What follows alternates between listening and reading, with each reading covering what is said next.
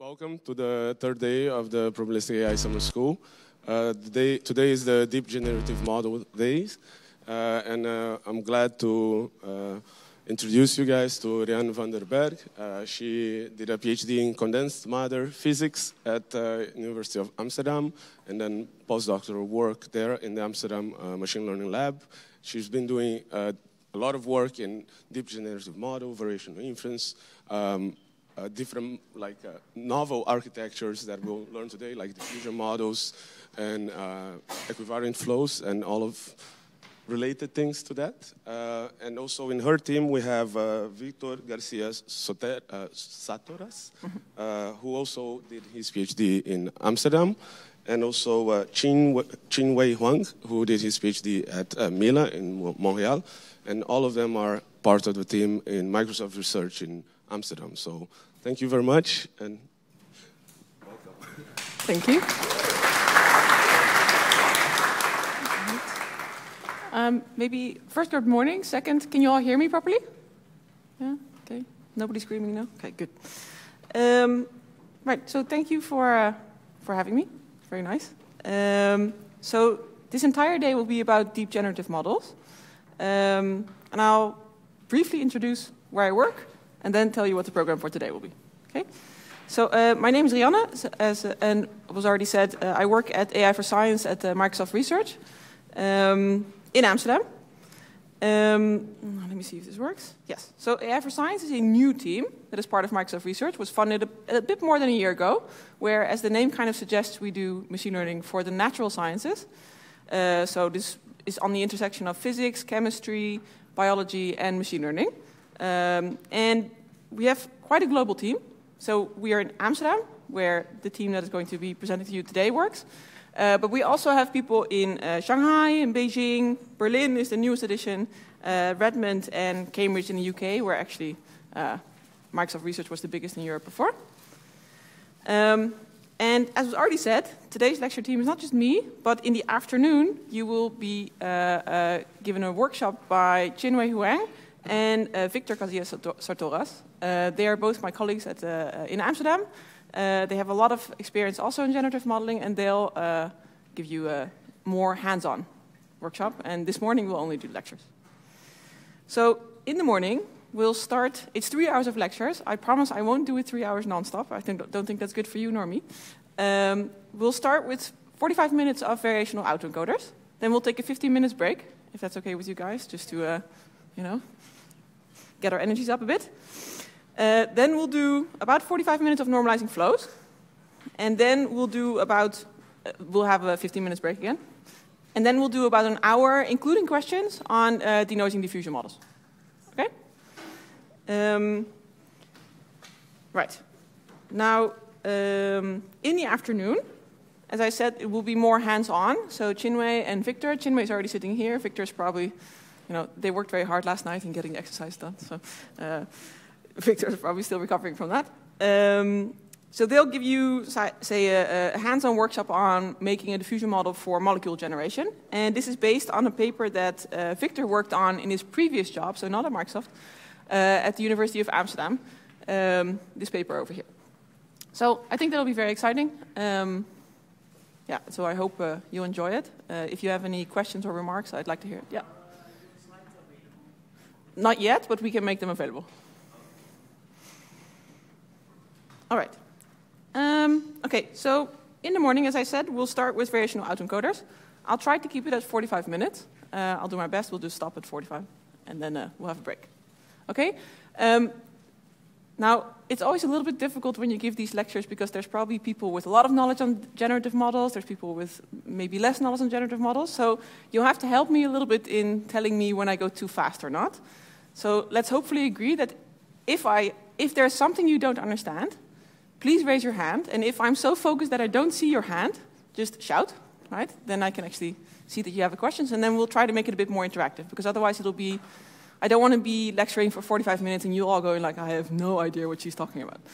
Um, yeah, so if you help me a little bit, then uh, I think it'll be, uh, we'll try to make it work, okay? All right. So, variational autoencoders.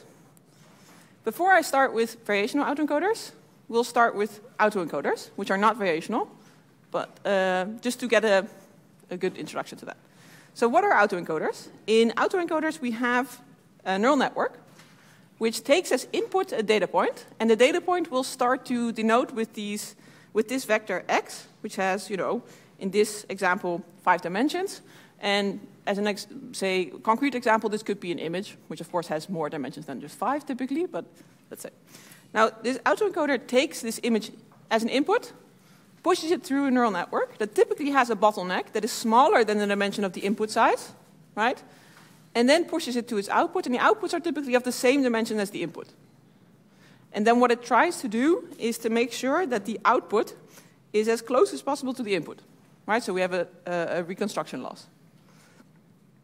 Now, that sounds a bit silly, but what is useful for these networks is the bottleneck layer that is typically smaller dimensions, which we sometimes call the code. And this code should be, say, a compressed representation of your data. So with that, you can do other downstream tasks such as uh, uh, classification, or you can use it perhaps for reinforcement learning, any other downstream tasks that for which it's better that we get a lower dimensional representation of the original data. All right. Now, autoencoders, as I explained them before, aren't really generative models, right? And we're here to talk about generative models.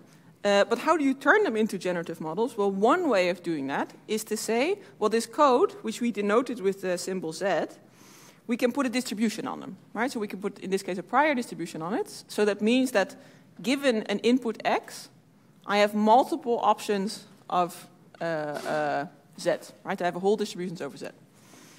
Now, if I have that, so if I put a distribution on this code, I have created a latent variable, right, another random variable, um, and I can put a distribution on that. And if I have that, I can actually start sampling from it, right? If I want to sample at this from test time, I take this prior distribution that I defined, this P of Z. You can see my markings, right? Yeah. Um, I sample a vector from it, and I push it through the second half of the neural network, right? So I leave the first half alone, the encoder, and I just push it through the second half. And then I've actually sampled new, the outputs of that network will give me new data points, right? If the neural network was trained properly, right? An untrained neural network is going to give you bogus, but let's say that you trained your autoencoder, this is going to work. All right. Questions on this so far? Is, no?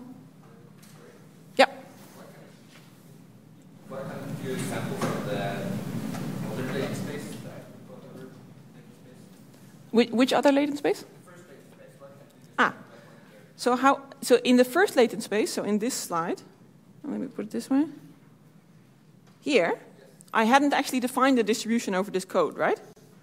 Here, I just take x as an input, a data point, and for every x, there's only one code, right? So I don't know what to sample from in that case. So there, we haven't defined. I mean, I can call the distribution as a delta distribution, right? That doesn't really work. So what you could do is say, train an autoencoder like that with no distribution on it, and then say at test time, I take my input, and for every input, I compute its one code, and I train a probabilistic model on that. That I could do, but then I essentially do what I was telling you in the next slides, right? Does that make sense? Okay. Okay. So if we put a distribution on a latent space, we have a generative autoencoder. All right? Okay, now a variational autoencoder is a particular type of a generative autoencoder, and it works as follows. So just taking a step back, what we want to do with a generative model, right, is we have a data distribution, which we don't know, right? We only have a particular set of samples from it. And we want to train a model that has learnable parameters. We'll, we'll call those learnable parameters theta here. And we want to take a generative probabilistic model that we optimize to be as close as possible to the true data distribution that we don't know. Okay? Okay. Now what we're going to try to do to make this data to make this model distribution very flexible, we're going to take a model that is a latent variable model. So we're going to take a model that takes the data x, but also has another random variable, this code that we talked about before, this latent variable. Right? And this is latent in the sense that you never actually observe this. You have to learn it. And so that means that we have a model distribution that is essentially latent variable model, which we will decompose like this. We'll take a prior distribution over this latent variable, z, and we'll take a conditional distribution that if you would give me a value of that z, I can produce a new data point, x. Okay, so the graphical model looks like that. So what we have now in terms of neural network architecture is only the decoder part of what we previously called an autoencoder. Right? We had Z, this prior distribution that lives here, let's say it's a standard Gaussian, right? That could produce you these Zs. And now I have a set of, I have this decoder that is essentially this, that parameterizes this distribution that can give me new data points, right? So I don't have an autoencoder at all yet. I just have a decoder and a probabilistic model on top of it. Does that make sense? Questions? All right. So graphical model looks like this, right? So we have this latent z, where here the dashed line means around the box means that it's latent, right? We've never observed it. And that, if you know z, through the conditional distribution p of x given z, I get x. Okay? All right, now we want to optimize this model, right? We want to do generative model and get it close to the data distribution. So what we would like to optimize is the, what we'd like to maximize is the logarithm of the marginal p of theta x, right? And we want to do that, of course, while drawing samples x from the true distribution, right? We have a set of data points for that. Okay, now we could do that. We can plug in the, the definition that we have at the top, right, of the, of the latent variable model. And then we get something like this, right? So we get the logarithm of the expectation, right, which is the integral, right, over this uh, conditional. Now, I, I, again, as I said, it's hard to know when I go too fast or too slow. Is everyone okay with that equation? Or if people are not, can you tell me? Yes, okay. So what I want to plug in, mm, let me do this. What I have to plug inside here, right, is p of theta x, right? And this is if I use uh, the definition here up top, right? I've only actually defined the joint of p of x and z, right? Now, if I use just probabilist standard probabilistic rules, right, I can write that as d of z, pz, px comma z, right? And this is equivalent to writing it as this expectation. Yeah? All right. Now, I could try to optimize this, but does anybody know why this is problematic? Any hint? Or maybe, maybe you can try to, if, if you don't know why it's problematic, maybe you can try to tell me how you would optimize it if I would give you this as an exercise. Maybe then we can walk into the problems that we have. I will give you one data point, x, and I would ask you to evaluate the right-hand side of that equation. Anybody? Go ahead. So we would need to integrate our set, right? So Yeah. This can be quite complex might, depending on how we define the set, might be expensive to do. Yeah. Okay. So the answer is just let me repeat it in case it's not audible in the, it, uh, at the back. Is that in order to evaluate this for a single x, we have to integrate over z, right? And this integral for if we have a very if if we deviate only a little bit from the most simple thing for p of z and p of x comma z, this integral we can't do that analytically, right? So that means we'd have to numerically integrate it, and that can get very expensive. Now, we could do many different things for the numerical integration. We could do, I don't know, some quadrature grid or something to be very precise. We could also say, let me do an MCMC estimate, right? Does anybody know why that would be problematic? Right, so an MCMC estimate is where you draw a finite number of samples, in this case from P of Z, and just sum up the contributions of P of, of, P of X, comma Z. Right, so it's just a sum. I draw, let's say, k samples from P of Z. So I, I draw k z's. I evaluate P of X, comma Z for those k samples and sum them up and divide them over the number of samples. That's it.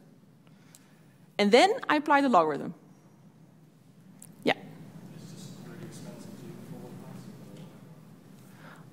Okay, so the suggestion is that this might be very expensive to do the forward pass. That is true, but in the end, whatever we're going to do, we'll have to do that. So unfortunately, we can't circumvent that. Yeah? Sampling in high-dimensional spaces is very inefficient. Also true. Unfortunately, we'll still have to do that. So we cannot circumvent, we will be sampling. What I said, we will be doing it, but not exactly like this. Also true, yes. So log of sum is not the sum, of the logs. Also true. Now, perhaps I can give a hint because it's very close to that.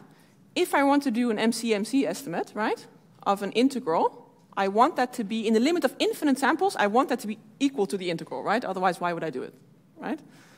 And I want it to be not if I have a finite number of samples. I want it to be on average.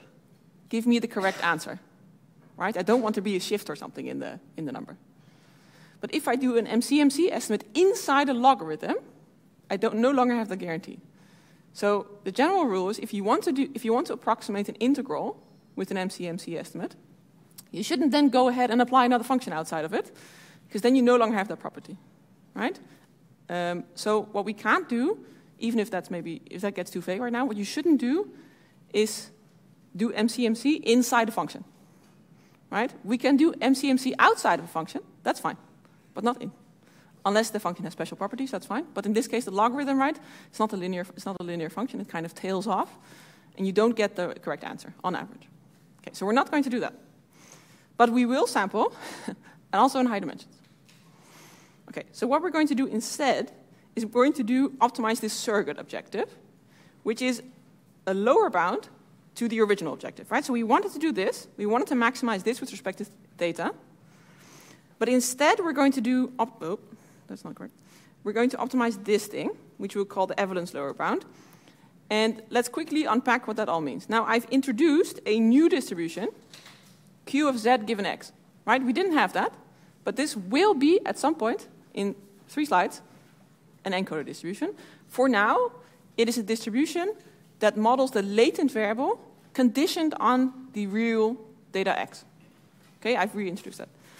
Now, if you look at these two terms, you can see that this looks a little bit like a reconstruction term the first term, right? So what I do here is you give me a data point x, I, and I, I given that x, I put it through this Q, this inference distribution, that infers a latent variable from it, right? And the inference here means that you know you infer something that you didn't know before. So I now sample a latent variable, z, given that x, and I plug in that z into this decoder neural network that is also shown here on the top right. And given that z, I get another x, right? Right? I check to what, what, what the probability is, given that z, that this was the correct x, right? So this is a pure reconstruction loss that we also saw on the first slide for uh, the autoencoder, right? I take x, I sample z, and then given z, I compute how likely x was. Right? So this is a pure reconstruction loss. Now this second term on the right tells you that if you want to maximize this, including the minus sign, that this distribution that we've now kind of dropped from the sky, this q of z given x, right, should be close to the prior distribution of z. Right? So we have a distribution over z that has nothing to do with x, just gener generally tells you what likely z's are. Here we say that Q of z must be close to that if we average over a lot of data, points. All right? Now it turns out that this is always lower or equal than the log likelihood. So if we maximize, for a given Q, if we maximize this right-hand side with respect, to, with respect to the model parameters theta, if we push that up, we have a large chance of also pushing the log likelihood up, uh, the likelihood, yeah, the log likelihood up, right? Because I, I have a, a, function and I have something that always lies below it or on top of it, right? So if I push that up, unless there's a big gap between it, I will start pushing up the log likelihood as well. Does that make sense? I see a few people looking at me like, well. please tell me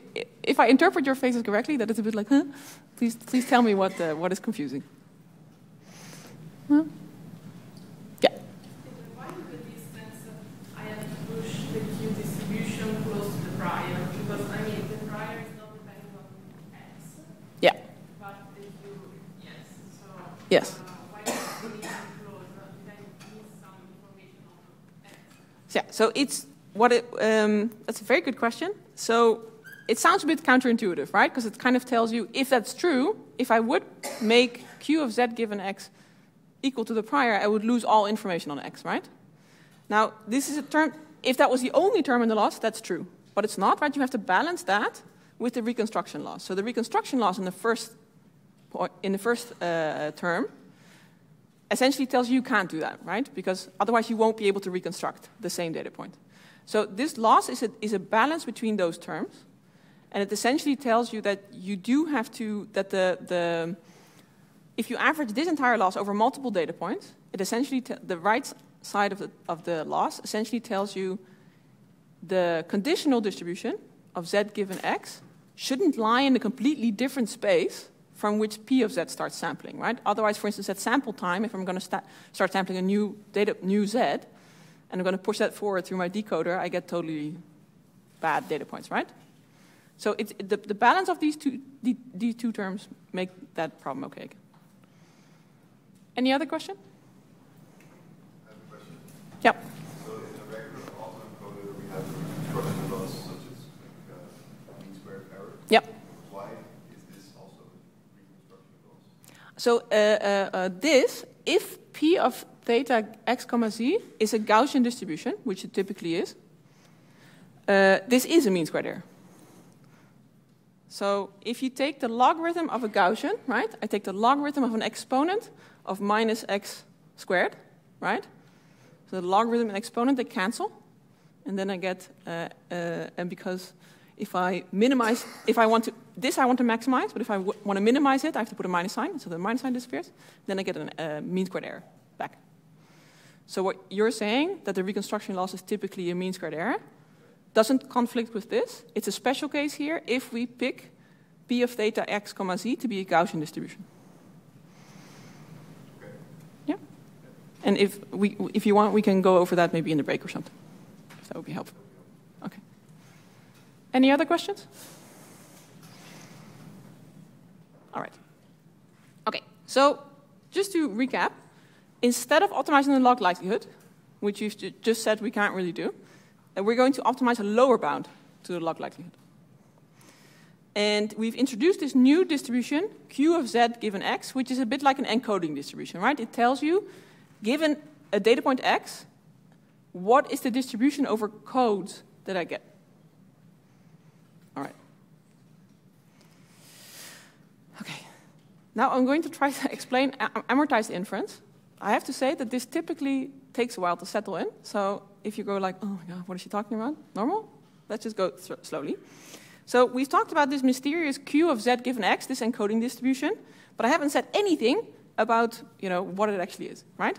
So for now, I'm going to assume in this first half of the slide that we're not going to associate any neural network with that, right? It is just a distribution, Q of z given x. Okay. Now, I first typically have to choose what family of distributions Q of z falls into, right? I can say has to be Gaussian, right? Our favorite distribution typically is a Gaussian because everything becomes easier. Let's, for the sake of the argument, also say here Q of z given x will be Gaussian. Okay? So that means that in the standard setting, not in the autoencoder setting, I will just define Q of z given x for each x. So this is called normal variational inference. I, this is not yet an autoencoder. Right? So I'm going to optimize in this setting the parameters of q of z given x for each x separately. Now this sounds a little bit um, cryptic. Let's say that q of z given x is a Gaussian, right? The Gaussian is typically parameterized by a mean and a variance, right?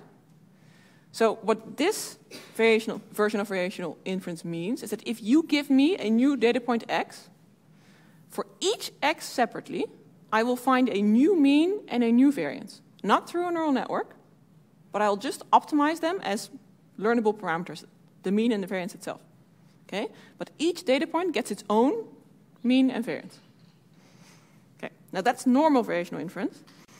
In the variational autoencoder, we don't do this type of variational inference. We amortize that cost of trying to find a new mean and a new variance for each data point by essentially learning a mapping from a data point to the mean and the variance if we make everything Gaussian. Right? So we, we take a neural network to do that. So if we pick q of z here, for instance, to be Gaussian, right? Or whatever other distribution that has a set of parameters that I need to learn, right? I will now use a neural network to learn a mapping to help us do that so that we don't have to re-optimize that for every new data point. Okay, so uh, to give an example, right? So what we, okay, maybe first take a step back. Let's say that this q of z given x, right? It's a, it's a distribution. I'm going to associate the neural network with it with parameters phi, right? So the generative model had parameters theta. This model has parameters phi. And then what I'm going to do is I'm going to, instead of only optimizing this lower bound that we had with respect to the model parameters, I'm go also going to optimize it with respect to the uh, encoder parameters, so these phi parameters. Now, for example, what is very often used is that we pick Q to be a Gaussian, Gaussian distribution, right? So that means that it has a mean, oh, sorry, and a variance. And this, for sake of the argument, we're going to pick a, a, a diagonal uh, covariance matrix. So what we need to learn, right, per data point, is a mean and a, and a vector of variances. And I'm essentially going to take a neural network that takes this input x and spits out the corresponding mean and variance. Okay? And the mapping that learns that right has this neural network parameters phi. And so if we now, during training, optimize these parameters phi and the model parameters theta, at test time, I can take a new input x and immediately compute the corresponding mean and variance without having to optimize that separately again. Right? So I've amortized or reduced the cost or divided the cost of that optimiza optimization procedure by learning a neural network. Okay. Hmm. Yeah? Some questions? Yeah. Do you train that network at the same time as solving Yes. So, so this, um, when we optimize this evidence lower bound, which is the same one that, that I showed you before, right? At, when I optimize this, I will optimize it with, I will maximize it with respect to both these parameters and the theta parameters of the decoder. Yeah? Questions? Right. Okay. Now, so as I said, typically, um, in the most vanilla case, we pick Q of Z to be a Gaussian, and we also typically then pick the prior to be Gaussian, but standard normal. Now, you can do many other choices, but typically life becomes easier when everything's Gaussian. Uh, hates that, so we'll, we can talk about it later. Uh, there. Okay, so um, taking a step back, right? So we have now a variational autoencoder. Previously, when I started explaining variational autoencoders, I said there was only a decoder network, right? Because we have defined this, this generative model, right, which has the prior and the decoder network, right? So there was no autoencoding yet. There was no encoding. But because we now introduced this new distribution Q and we associated a neural network with it, I have an encoding network as well. Right? So now I actually have an autoencoder. Does that make sense? So if I want to train this, if I want to reconstruct, evaluate, for instance, the first term in this loss, right? This is again a reconstruction loss. I take my input and I forward, I essentially forward this through the first half of the neural network, which is Q, right? I get my Z, and then I push Z through the second half of the neural network, which is given by P of Z given, uh, P of X given Z. I calculate the reconstruction loss. Yeah? Okay. Any questions on that? Okay. Can you stress again the difference between the thetas and the phis? Yes. So theta are he, the, the thetas live here, and the phis essentially live here, right? So phi are the encoder parameters, and theta are the decoder parameters. So decoder is p of x given z, and sometimes your prior p of z also has parameters. In the vanilla case where you picked it as standard normal, there's no parameters. Yeah? So theta are the parameters for the generative model. At test time, if all we want to do is sample, I can forget about q, right? And its parameters phi. if I want to do something like representation learning with the code or, or something like that, then I also need to compute for a particular data point z. All right. Okay. Okay, now let's, I don't know, think a little bit about what it means that we're now optimizing this objective with respect to two neural networks, right, that are connected, but we have the encoder network and the decoder network, right? And as I said, we have uh, the encoder parameters are these phi's and the decoder parameters are these thetas. Okay, so we said we would try to optimize or maximize this first line, which is the evidence lower bound, with respect to both parameters, right? Now, what is interesting to see, as I said, that this is a lower bound to the log likelihood. But we can say something about the gap, right? If it's a lower bound, that means that there's a gap, typically, unless it's exactly equal, between the log likelihood and this objective. Now we can actually compute that immediately, we can compute what that gap would be, okay? So the gap between the log likelihood and this evidence lower bound, which is equal to the top line of the equation, right, the thing we are going to optimize, is exactly the KL divergence between Q of z given x, right, the encoding distribution, and the model's posterior. And now, this model's posterior is typically intractable. And you're going to maybe think, huh, why? So what we have, right, what we had is we had access to p of x given z and p of z, right? If I want to compute the posterior, I can use Bayes' rule, right, to get this. But then I would have to divide by p of x, right? And p of x is the integral of the top line with respect to z which means we get this super annoying integration again, right? So unless p of x comma z is something extremely simple, I can't in closed form compute the posterior. Now, despite the fact that we can't in closed form compute this, this is essentially the difference, right, between the objective we're optimizing and the log likelihood. So we can't compute this in closed form, but we do know what its meaning is. We know that if we were to optimize for a given theta, if we would optimize the encoder parameters really, really hard, we would start to get that encoding distribution to be close to the posterior of the model, right? And then, because that's when the KL becomes zero, right? So maximizing the ELBO with respect to both the model parameters theta and phi essentially gives me two things. So what you can see is that on the left-hand side, here, this log p of theta x does not depend on phi right?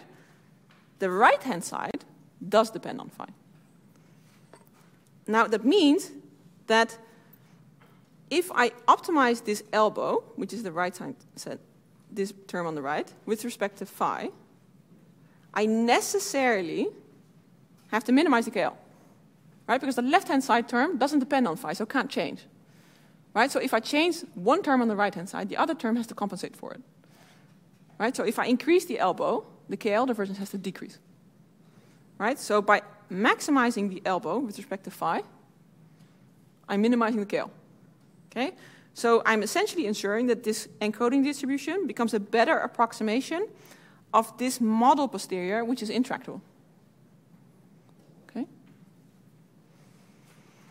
Now, secondly, by maximizing this elbow, right, on the right-hand side, with respect to the model parameters theta, I'm also pushing up the log likelihood. So I am still, and that was our original objective, right? We wanted to maximize log likelihood. So I'm also still optimizing log likelihood, right? And that was my generative modeling uh, objective. So at the same time with the variational autoencoder, I'm doing representation learning, right? I'm learning and I'm doing inference with, a, with, with my encoding distribution. But I'm also learning a generative model. So at test time, I can do both of these things. Yeah? Questions? All right.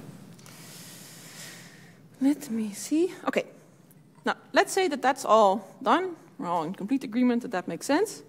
Now, hmm, we actually do have to optimize this objective, right? And let's first have a look at how we would optimize this objective with respect to the model parameters, the decoder parameters. And then we'll see that that's fairly straightforward. and we'll see that the optimizing with respect to the encoder parameters is slightly less straightforward. Okay, so but let's do the straightforward thing first. So what we want to do, right, is we want to essentially do uh, the standard thing we all do all day, backprop of this objective with respect to our uh, decoder parameters. Okay, so that means that we have to compute the gradient with respect to theta of our loss function, and that's essentially on the right-hand side. Just focus on the first line, please. Uh, we get the gradient of this term here. Now, a gradient and then taking an expectation, right? If we want to sample, you have to be a bit careful. In this case, the distribution from which we're sampling, Q, doesn't depend on theta. So I can swap them, no problem. I can swap the order. Okay? So I can pull this gradient inside of the expectation. Then I'm in the second line and compute the gradient with respect to these two terms. Now the second term doesn't depend on theta, so I can forget about it. Right? So I'm left with only the gradient of the first term. Now I can compute that gradient based on stochastically drawn samples for the expectation operator.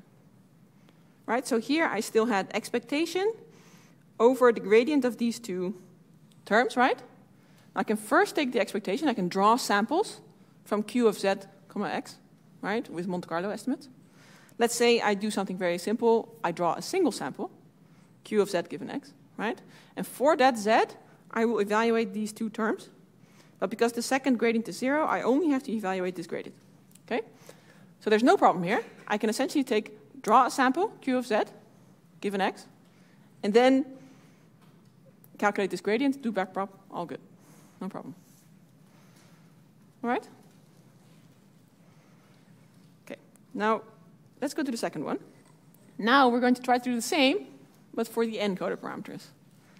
So we're going to again take the gradient with respect to phi of our objective, which means that again we have to take the gradient with respect to phi. Oh, now it stopped working, great. And here's the expectation. And now I hope I've been very obvious, uh, and if not, that's a pity. Can anybody tell me why I can't swap these two operators? Sorry? Can you speak up a little, sir?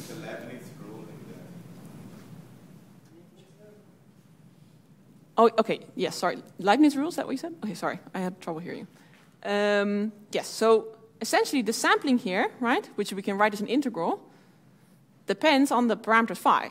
So I can't just ignore the fact that the sampling depends on phi and you know swap those orders. That doesn't work. Right? So this is not allowed. Sounds very nice, but I can't do that. And we were allowed to do that with the, with the other parameters, right? Okay. So we have to find another way, right? We don't want to differentiate through a sampling procedure that depends on the parameters that we're going to optimize. That doesn't work. All right. Now, what was um, uh, proposed in the paper by Durk Kingma and also by Danilo Rezende, which they kind of appeared at the same time, uh, which was an essential trick here for uh, making variation autoencoders work, is the reparameterization trick. And if you take a step back, what it does is when you sample, it separates the stochasticity from the sampling from the parameters that the sampling depends on. Okay, now that sounds a bit cryptic, but let's go through it. Okay, so what we're going to try to do is we're going to rewrite this sampling operator operation where we take z and we, and we sample it from this distribution q of z given x, which depends on phi. And we're going to write it as a deterministic transformation of another sampling procedure, where the sampling procedure no longer depends on phi, but the deterministic function does. And then we can get away with swapping things again. Okay, so in equations, what we're going to do is we're going to say z, this random variable, is a uh, uh, deterministic function g that takes in another random variable, epsilon, which if I want to sample that, that this distribution should not depend, this p should not depend on phi, otherwise we haven't solved our problem. And because it's conditioned on x, right, uh, it can take x. And this deterministic function, deterministic function can also depend on phi, but epsilon cannot depend on phi. That's the crucial thing. Right? And epsilon is the, is the new stochastic random variable. Then, if we've done that, if we have something of this form, which is a simplification, or say an abstraction, abstraction of what we've seen before, if we want to take the gradient with respect to phi of an expectation of this q phi z given x, and then something inside the expectation, some function f, doesn't really matter what it is, that depends on z, this is equivalent to saying we take the gradient of the expectation where instead of sampling z, comma x, we sample epsilon, right? And given epsilon, we can compute z, right? So z is a function of epsilon, right? So we evaluate this. And now what we're allowed to do, now we're allowed to swap the gradient and the expectation, right? Because the expectation here doesn't depend on phi. Okay, so now we're allowed to do it. We can draw the gradient inside this expectation, take one Monte Carlo estimate, one, one Monte Carlo sample to compute this expectation, and do backprop. Okay? So let's make this, um, say in a picture, this is what essentially happens. So before we did this reparameterization trick, let's look at the original form here on the left. Okay, so what we did is we had a latent variable, a random variable, z, right? And randomness here is indicated by the fact that that node is blue, right? In order to get z, right, I had to, you had to give me the parameters phi and x, and then I would start randomly sampling z, right? But phi and x are deterministic in this case. Okay. And then I had f, and what I, what I needed to do, right, is optimize phi. But that means that if I want to backprop, no matter where I go, right, here, there's a sampling procedure in between, which you typically don't really know how to differentiate through. Now, what the reparameterized form essentially does, it kind of rewrites the computation graph in such a way that z is now a de deterministic node, but takes as input a stochastic node, another one, epsilon, right? And takes into two other, again, deterministic node, phi and x. Now, if I want to backprop, right, from f to phi, you see there's no stochasticity on its path anymore, right? So there's no problem. That's a bit more the pictorial view of why this does work. All right, any questions on that? We, we, in the next slide, we'll go through this with a Gaussian example, just to make it a bit more concrete. All right, we don't have a lot of time. I said I'd stop at 45, so hmm, challenge. Um, let's do this. Uh, okay, I've just explained. Here, this slide is not super important. It's, it's just to show you that this is where f, this abstract function we had before, is now just our objective function. Right? So we say we wanted to calculate the gradient with respect to phi. Oh, stopped working. Right? Of this ELBO. And now here there was an expectation with respect to q, right? You can see that here at the top. And we can use the, the, the trick to replace that by an expectation over p of epsilon that no longer depends on phi, and we can pull all gradient through, no problem. Yeah? Okay, now let's do this for one example for the uh, uh, simplest Gaussian version that you know was used originally. So typically, in the vanilla version, we take q of phi, z comma x, to be a factorized Gaussian, meaning that for each dimension, it is a separate Gaussian, right? Which is the same as saying it's a high-dimensional Gaussian with diagonal covariance, right? If we parameterize that with the encoder network, we have to parameterize a mean vector and a vector for the uh, diagonal terms on the covariance matrix. All right. Now, if we want to reparameterize this, what we do is we first sample epsilon from a standard normal distribution. Zero mean, identity covariance, right? No dependence on any neural network parameters. Now, if we, with that sample, want to sample from this distribution, this Q, right?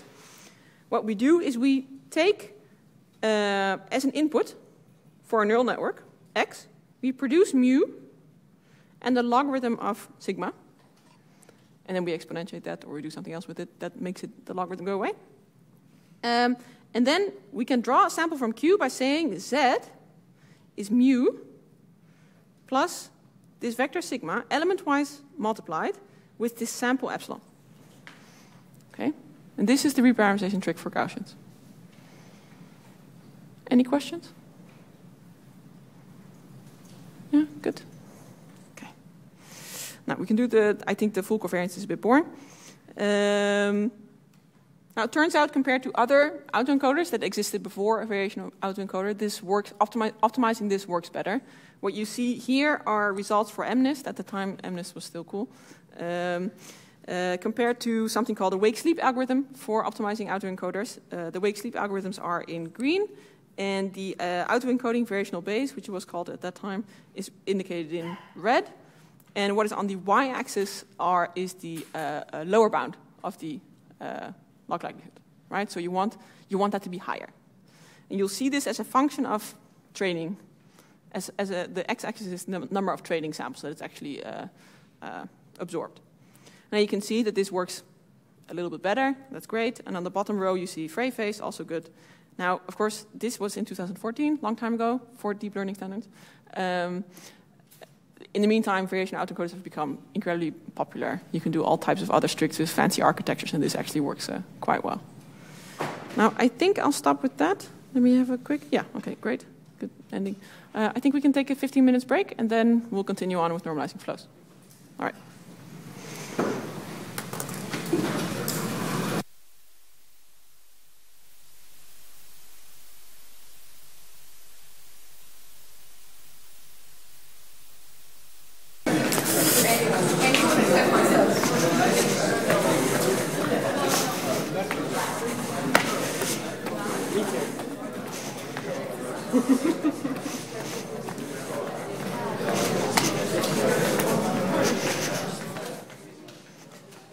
All right. Um, can you hear me again? Yeah? So I think we're going to get started. I know not all of you are here yet. I'm hoping that uh, slowly people will come back in. Um, I'll just start talking a little bit and then uh, we'll see. Sorry? Oh, well, I don't know. I think, I think other people might prefer the diffusion models, but let's see. um, okay. So we're going to discuss normalizing flows now. I know that we've only done 45 minutes of VAEs, and there's much more to cover for VAEs. But I'd rather do, say, the basics of all of the three sections than to go into, you know, this is that architecture improvement and stuff. I think that might be nicer to do by self-reading or something. Okay? All right. Okay, so now we're going to do normalizing flows for the next 45 minutes. Um, but we'll start by motivating, motivating normalizing flows by going back to variational autoencoders. And actually, the motivation is um, based on something that one of you just asked me. Um, and so we'll, we'll, we'll go through that. Okay. By the way, if I sometimes I have a tendency because I use this pen to point at something while not actually writing. Um, uh, please tell me if I'm doing that, right? So if I go like, yeah, yeah, this term here, and you have no idea what I'm looking at, uh, please, you know, tell me. Can you please, you know, write with your pen? Otherwise, uh, okay. Okay. So, recap variational autoencoders. Yeah, we had a surrogate objective that we were going to optimize instead of the log likelihood, because the log likelihood was intractable. Okay, where we had this new distribution, the encoding distribution, which together with this will give you a reconstruction term, and we had this sort of regularization term. Okay, and we also already discussed that um, this this equation on the right, the evidence lower bound, is actually equal to the log likelihood minus this KL between the encoding distribution and the true posterior of the model, right? That is this thing. This intractable thing we don't know how to compute. But this KL tells us that this is the difference between the objective we were optimizing and the thing we actually wanted to optimize, which is the log likelihood. Okay? All right. Okay. Um, Chin-Wei will very kindly send the PDF of the slides to you, or to someone who will then send it to you. I don't know how it's going to end up with you guys. Um, so I hope that will make things a little easier. Okay, for those of you who just came in, um, I've just recapped variational autoencoders, and we're going to use that as a motivation to do normalizing flows. Okay? So, repeat, we were optimizing the evidence lower bound, right, which is the lower bound to the log likelihood, And the difference between that evidence lower bound and the log likelihood is this KL divergence, that one,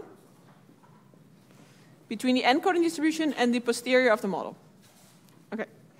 So that means that if we optimize the evidence lower bound, we are trying to approximate Q to go towards this true distribution P of Z given X. But that also means that if it's a bad approximation, there's a huge gap, right, between the log likelihood, the objective we actually wanted to do, and the one we're optimizing. So let's, in a picture, see what that means. Let's say, for the sake of the argument, that I'm going to fix my encoding distribution. So phi is fixed, I'm not optimizing anything, right? The only thing I'm now going to optimize is the model parameters of the decoder distribution, okay? Now let's pretend there's only a single parameter. That's not true, but just for sake of the argument. So what I wanted to do is find the parameters of theta that maximize the log likelihood, right? So I, if, if the log likelihood is here drawn as this red curve, right? I want to find the values of theta that corresponds to theta star, right? That's the maximum of this curve. What I'm doing instead is I am maximizing the blue curve, which is always below or on top of this red curve. And the gap between these two curves is the KL divergence between the encoding distribution and the posterior of your model. Now you can imagine that if your encoding distribution is not, if, if that gap is big, right, the optimum of the blue curve, which we're optimizing, does not lie at the same position as the optimum of the red curve, right? So if our goal is to do log likelihood optimization, then we better make sure that this encoding distribution is flexible enough that it can close this gap. Yeah? Okay. And now what we've done so far is only looked at Gaussians with uh, diagonal covariance, right? I mean, that is probably as, okay, not as inflexible as you can get, but it's not very flexible, right? So what we're going to try to do now is look at normalizing flows and how you can use that to model a more flexible Q of Z given X. Yep. If you have a question, please ask. Right, otherwise the 45 minutes will be very long, probably for you and me. All right. Um, okay, what we're going to do now is uh, introduce normalizing flows for variational inference for, for autoencoders. And this is how it was done by Danilo Rezende and Shakir Mohamed in 2015. Um, so what we want to do is we're going to start with a simple distribution, the one we already had, probably a diagonal Gaussian, right? So I'm going to start by taking a sample from a latent variable, z, which is conditioned on x, through this very simple Gaussian distribution. So now if I draw that on the right-hand side, because it's for a 2D latent variable, right, this can only be, this can be an elongated sort of like ellipse, but it can't be, it can either lie along this axis or along this axis, right? Otherwise, if it would be diagonal, there would be correlation among its elements, right? So now the minimum thing that I want to be able to do is to do something so that I can actually model correlations. But what I'd also kind of like is for this to not be unimodal, right?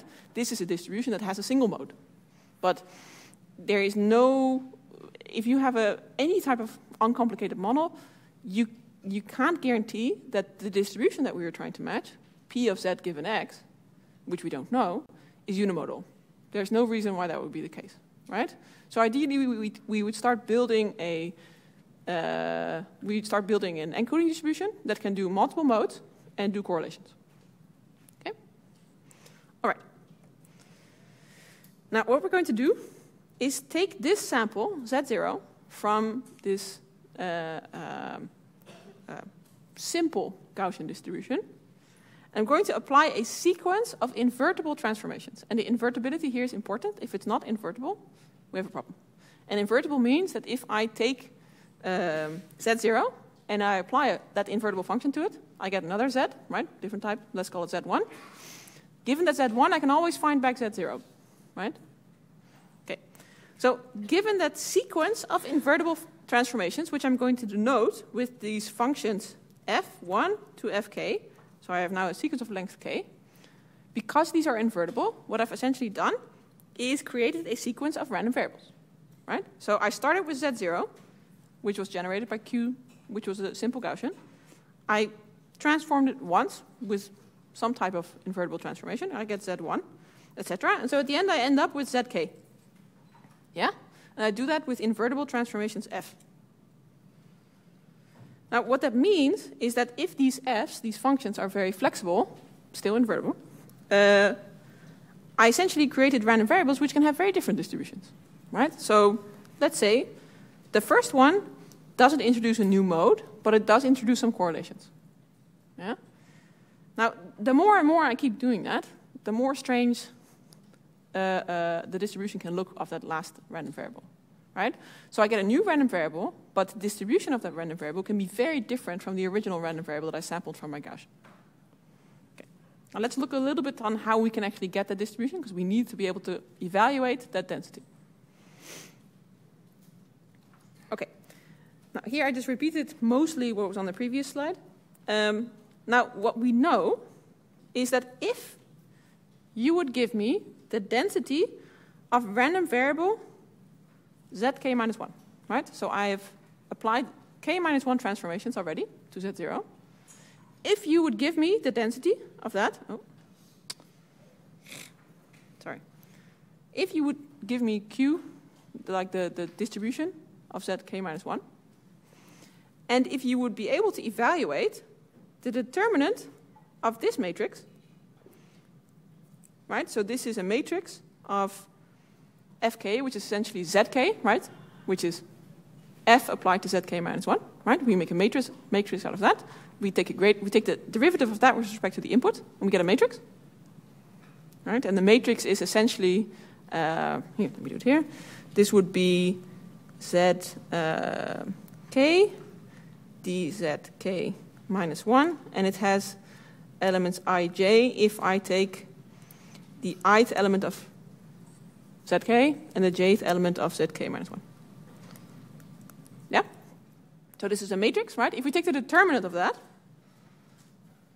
absolute value inverted, then I can tell you what the density is of the next random variable. Which means that if I would apply that recursively, as long as I know the density of the first random variable that I put into the sequence, which we said was Gaussian, right? I can recursively start computing the densities of the entire sequence of random variable, right? So that means that if I start with the, if I want to know what the log density is of the kth random variable, I take the log density of the original random variable, right? And that was here, right? We sampled that from the Gaussian. And now I subtract the sum of the log determinants of these matrices. Right? We have k matrices. And this means that even though I've done some really weird stuff, the likely the density or the log density is still tractable, which is what we want if we want to plug this in back to a, an autoencoder, right? Because we have all types of terms that depend on us evaluating the density of the encoder. Yeah. Can you maybe recap the idea why the inversion corresponds to the density of Ah, why that's the case? Aha. Okay. Well, um, hmm. I can do that. Um, that might take a while though. Um, okay. Are there other people who also want to hear that? Because it, it will probably take me five minutes.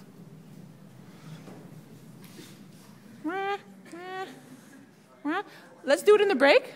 Maybe everybody who's interested in can come in the break, which is at uh, uh, quarter to 11. I'll do it on the whiteboard. Okay? All right. Good. Um, okay. So for now, let's assume that the equation is true. Yeah? And that I didn't make a typo or something. Yeah. In the node that you have written, should it be Z or F? In, in the, here? The node, yeah. That, No, no, on the right. Oh, that's the, so. Okay, so so that doesn't really matter. So we say that um, zk is f of if fk applied to zk minus one. So it's a bit of an overloading of terms. Does that does that make sense? No. I, I see F on the PDF, and Z is No, f is not a PDF. f is a function. So the, the, the, the, the uh, uh, uh, PDF are queues. So f is literally just a function that maps an input of, in this case, say, d dimensions to another d dimensions.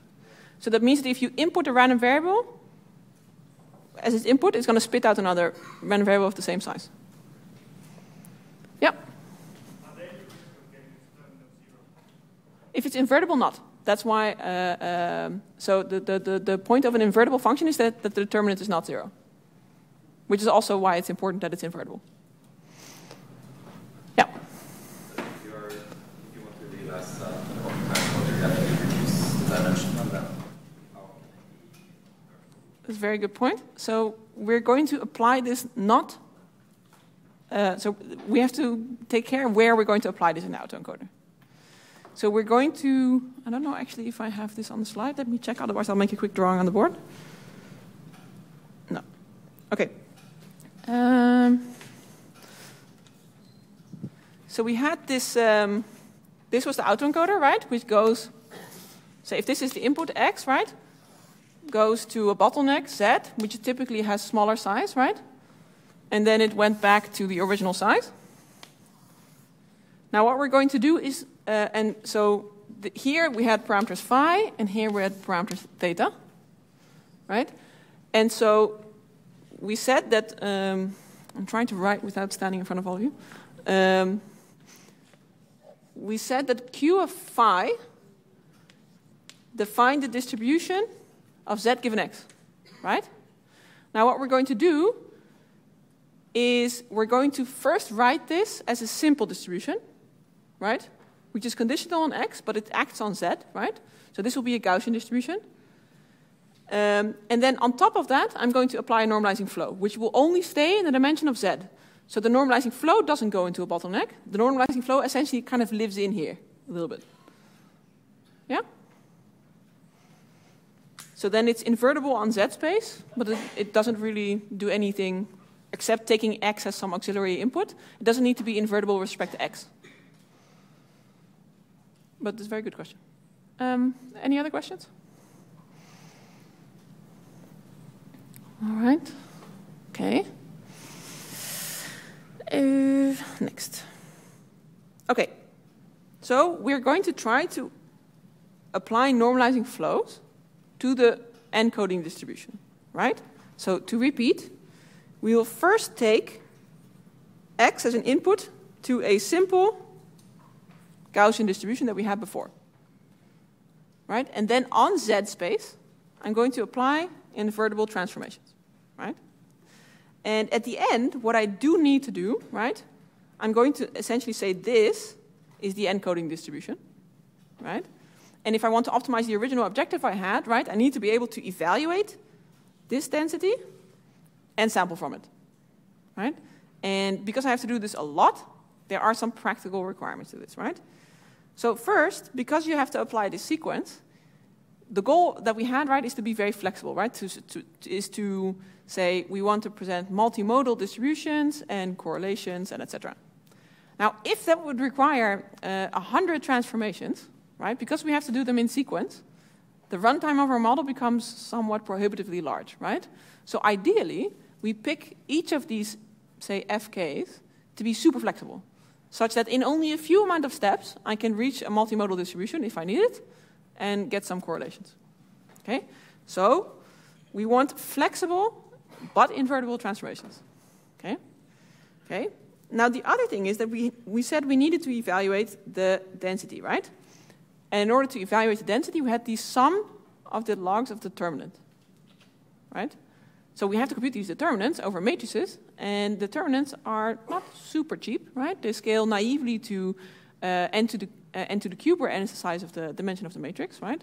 So if we do that with any matrix, this is going to be very expensive, right? So we kind of want to make sure that f is invertible, it's flexible, but not so flexible that it's like full determinant. If we do something smart to the structure of the matrix, then determinants are easier to compute, right? And then we can get away with an easier scaling that is not n to the third. Okay.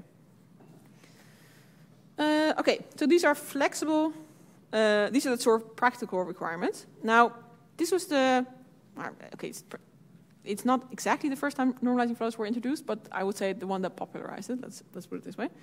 And this was then, as we just talked about now, right, applied to variational autoencoders.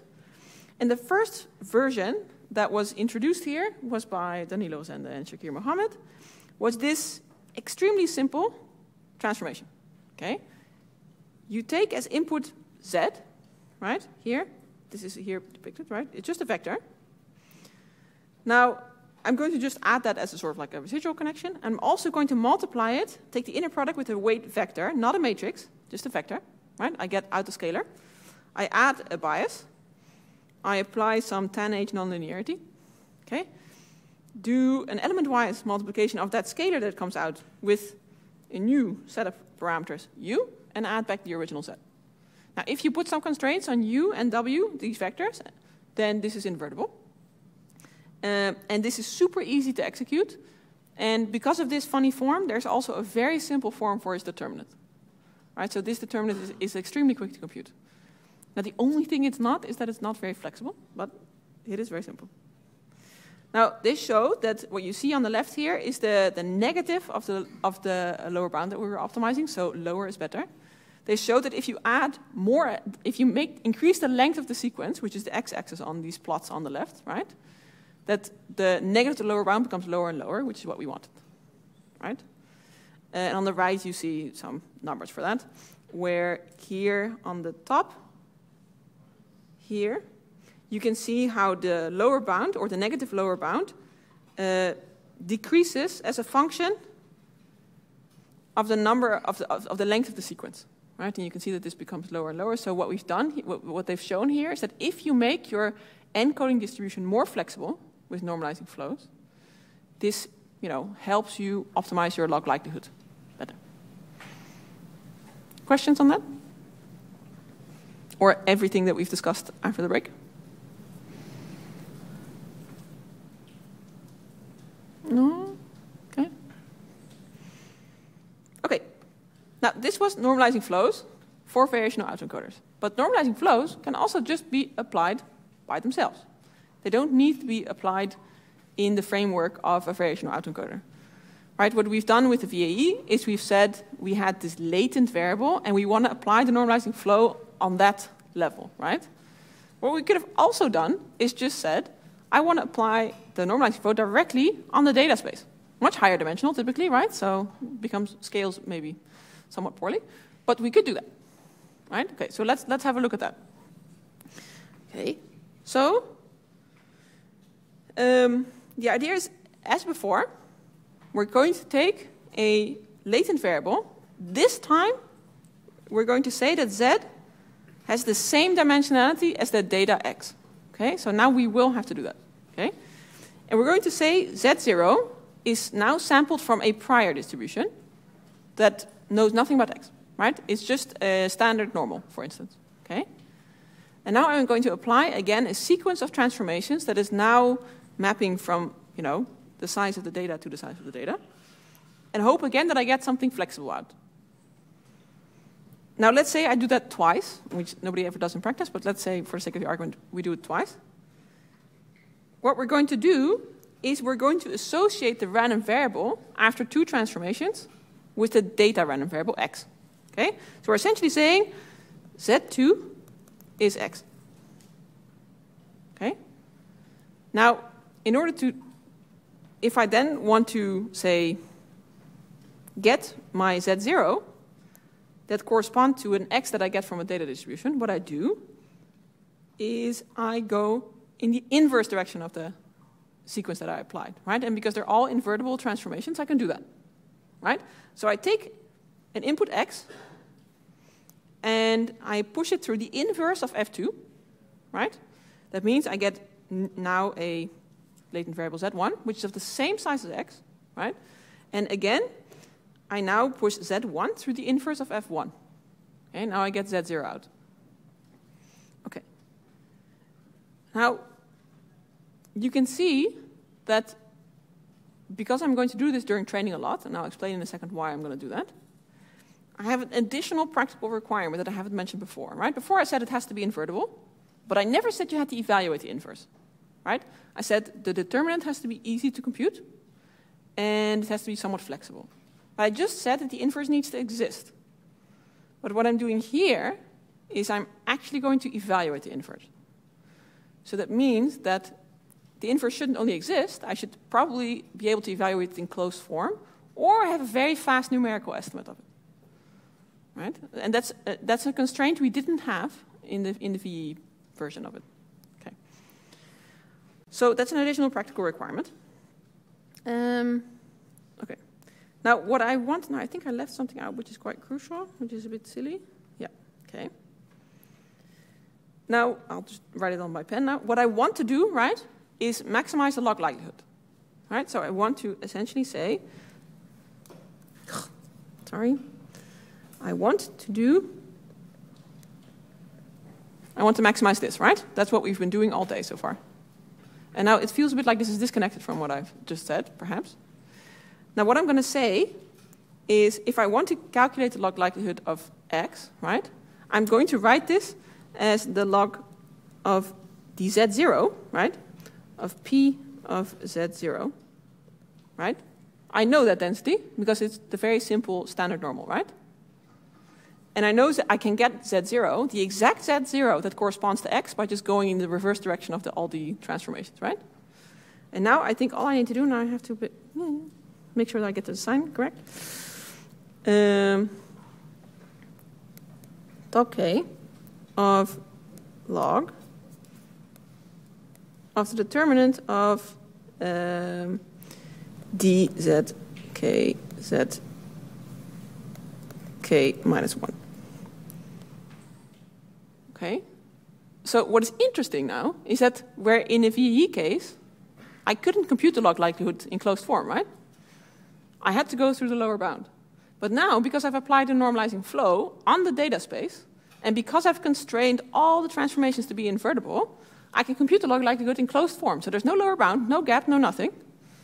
I can actually compute the log likelihood of the model, which is not the case for a VE. Right? With the constraint that I have to put my neural networks in such a way that I make everything invertible, which is quite a constraint actually. But we can probably do, do some funny tricks with that. Does that make sense for everyone? Are you sure? Some people look at me a little bit like, hey. Yeah. yeah.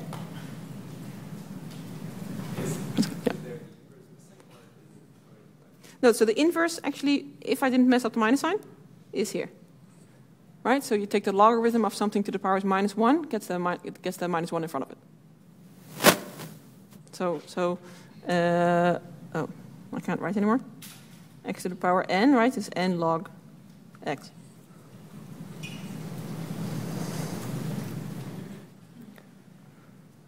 Any, you also had a question?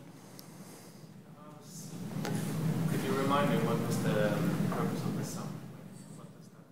Ah, yeah. Okay. So uh, maybe we can go back two slides. Yeah. Okay. Let me erase this for a second.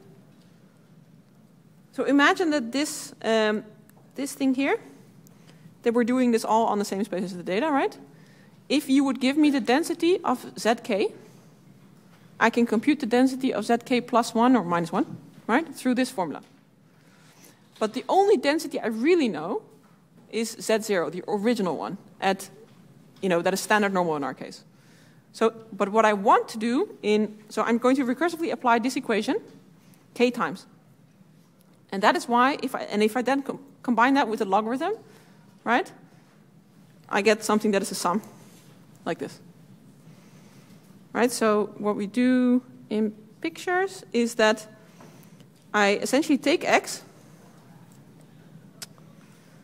I pass it through k inverses, and I remember all of those variables, right? And I essentially add up the densities uh, of all of those things. Yeah? So it is kind of contained in Z0. So it's contained in Z0 in the sense that you have this term, right? But because you do invertible transformations, what you're essentially doing is squeezing and, uh, uh, and, and, and stretching the density, right? So what you, what you have to be careful is that if you do a transformation, right, that you uh, don't, that the resulting density is still normalized. And this, these terms are essentially corrections to make it normalized still. And that becomes a bit more obvious if you write it not as a log likelihood, but as a likelihood. Um, then this essentially just tells you, please stay normalized. Yeah. Concerning like uh, results, uh, we, we are getting like better so what like like for example the images set up in the session uh, it's uh, up the color way. But my main question is do you actually need like to have like this um, PDF after each step or if we just look like 20 linear layers after the uh, sampling Gaussian and just put it inside the decoder Mm-hmm. will it make similar difference? Um, let, let me try to see if I understand. Uh, I'll, I'll try to repeat it, and then you can tell me if that was your question. So, are you asking whether or not we can do we can do normalizing flows like this, right? Or just if we were to do a VAE, increase the flexibility of my decoder? Is that the question?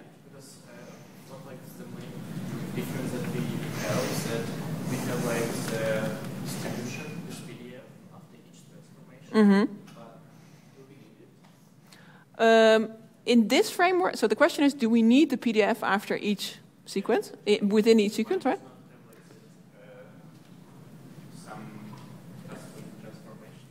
Yeah. here. Well, so okay, so the difference here is that we're interested in the unconditional distribution of the input, right? And now I need, if I want that, the only way that this computes that by doing the whole sequence, right? And I, and I rely on knowing the determinants to compute that result. Now, in, in when I do this for a decoder for uh, uh, a, a VAE, I'm not interested in, in the unconditional distribution, right? I'm interested in P of x given z. Now, there, it doesn't need to be invertible with respect to x and z, right? But so I'm modeling a conditional distribution in one and a marginal distribution in the other. So now, I don't think you, uh, so, so that, that's to say technical difference. Now, I do think that, you know, VEs and normalizing flows in the end, I don't know, I think there's probably, uh, uh, I don't know, I'm sure there's people who will disagree with me. I'm not sure there's really, you, you can say that there's, uh, that one is strictly less powerful than the other one. Uh, so you can, you can increase flexibility in either. But if you want to compute the marginal distribution of the input, with a normalizing flow like this, you have to do this. You can't start in, increase, start putting non-invertible layers in between. Otherwise, you lose the like. Then you get a determinant that is zero in between, right? And then we're done, right? Then we get here we get a log. One of these terms will be a log of zero, and that explodes. Yeah. Uh, if we will have the variational autoencoder with the same number of, uh, there's the same dimensionality of that. Yeah. Would it then converge to the normalizing flow? So you have encoder as That's a very good question. I think it would only do that if you would make it, and I have to think a little bit, if you would make it invertible. If you would make the encoder and decoder, decoder architectures invertible. Not sure if it's both, but certainly you need to have, have an invertibility constraint. Otherwise, you would still, like, because a normal VAE, if you, it's a lower bound regardless of what you pick the dimensionality of Z, right? It becomes a non-lower bound if you make it an invertible transformation. Mm-hmm. Because then you can also compute the posterior and whatever, and you get okay, you get a lot of delta distributions, which gets a bit ugly. But so then posterior is just like foil. Then the posterior is a delta distribution. Yeah. Yeah. Uh, uh, sorry, what is uh, K? So how deep should we go? Okay. So the, so the question is how deep? How, what should k be? Right. Well, that's one of these lovely ex- additional hyperparameters that you'll have to tune, that will uh, determine both your runtime, right, and your flexibility. So you have to get a bit of a trade-off to what you know in terms of flexibility, but also in terms of runtime. Yeah. And in variational encoder, it's you cannot really appro- even approximate the probability of data. Uh, it, it's hard to do that. Uh, here we have a closed form for it. Uh-huh. In a variational autoencoder, you can compute a lower bound to it, and there's tricks to compute tighter lower bounds to it, but they're all numerical estimates. Mm. But what is the intuition we, we, we have the, the value of the k, like as we go higher in its value, what changes? So the intuition is what high k would give? You've essentially so going high, making k higher, so increasing the number of invertible layers, essentially tells you that you can make more and more flex, more and more crazy distributions if you wanted to model them. Um, so let's say that the true posterior is something with uh, I don't know 500 modes and uh, super correlated, super dependent, right? It might be that with two layers you won't get there, right? So you, if if, if your goal is to get something that, yeah. Right? One last question? Yep.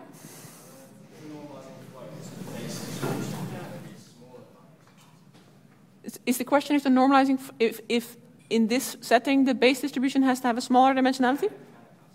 No.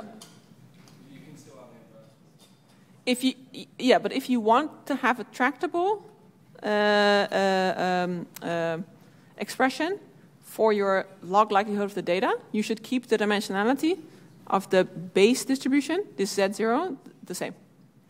Otherwise, you, yeah, otherwise you get back to something that is actually much more similar to a normalized to a VE. Right? Because if if I don't do that, then I go from say, let's say it's a lower dimension, right? Then somewhere in there I will have a, a mapping from a lower dimension to a higher dimension, and that is per definition not invertible, right? And so, so then I have a determinant zero somewhere and get all types of stuff. Now I can do other stuff. I can introduce auxiliary random variables and do fancy stuff. But then again, I go back to something that's much more similar to a variational uh, uh, autoencoder. Uh, I actually think Chin-Wei has a very nice paper on that. So, uh, no? Okay. Oh, was not paying attention. Okay. Um, all right. Now we'll go through two examples of generative, people sometimes call these generative normalizing flows because they're not used inside a variational autoencoder. We'll go through two examples that are very similar, simple, but actually work quite well. Okay, so one of the simplest ones is um, called Real NVP uh, by uh, Laurent Dinh, uh, Jascha Sohl-Dickstein, and uh, Yoshua Bengio. Um, and um, it goes as follows. So here I'm going to show one transformation only, uh, where we go from data oh, to, say, a latent variable. Okay. Now you take the data, which I'll denote with x, and I split it into two.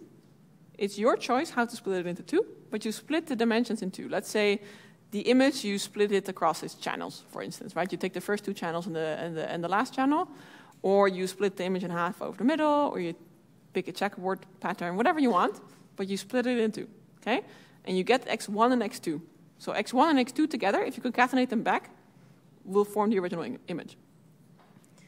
Now, the next random variable, right, which is going to be a random variable that we get after, after applying this invertible transformation, is going to look as follows.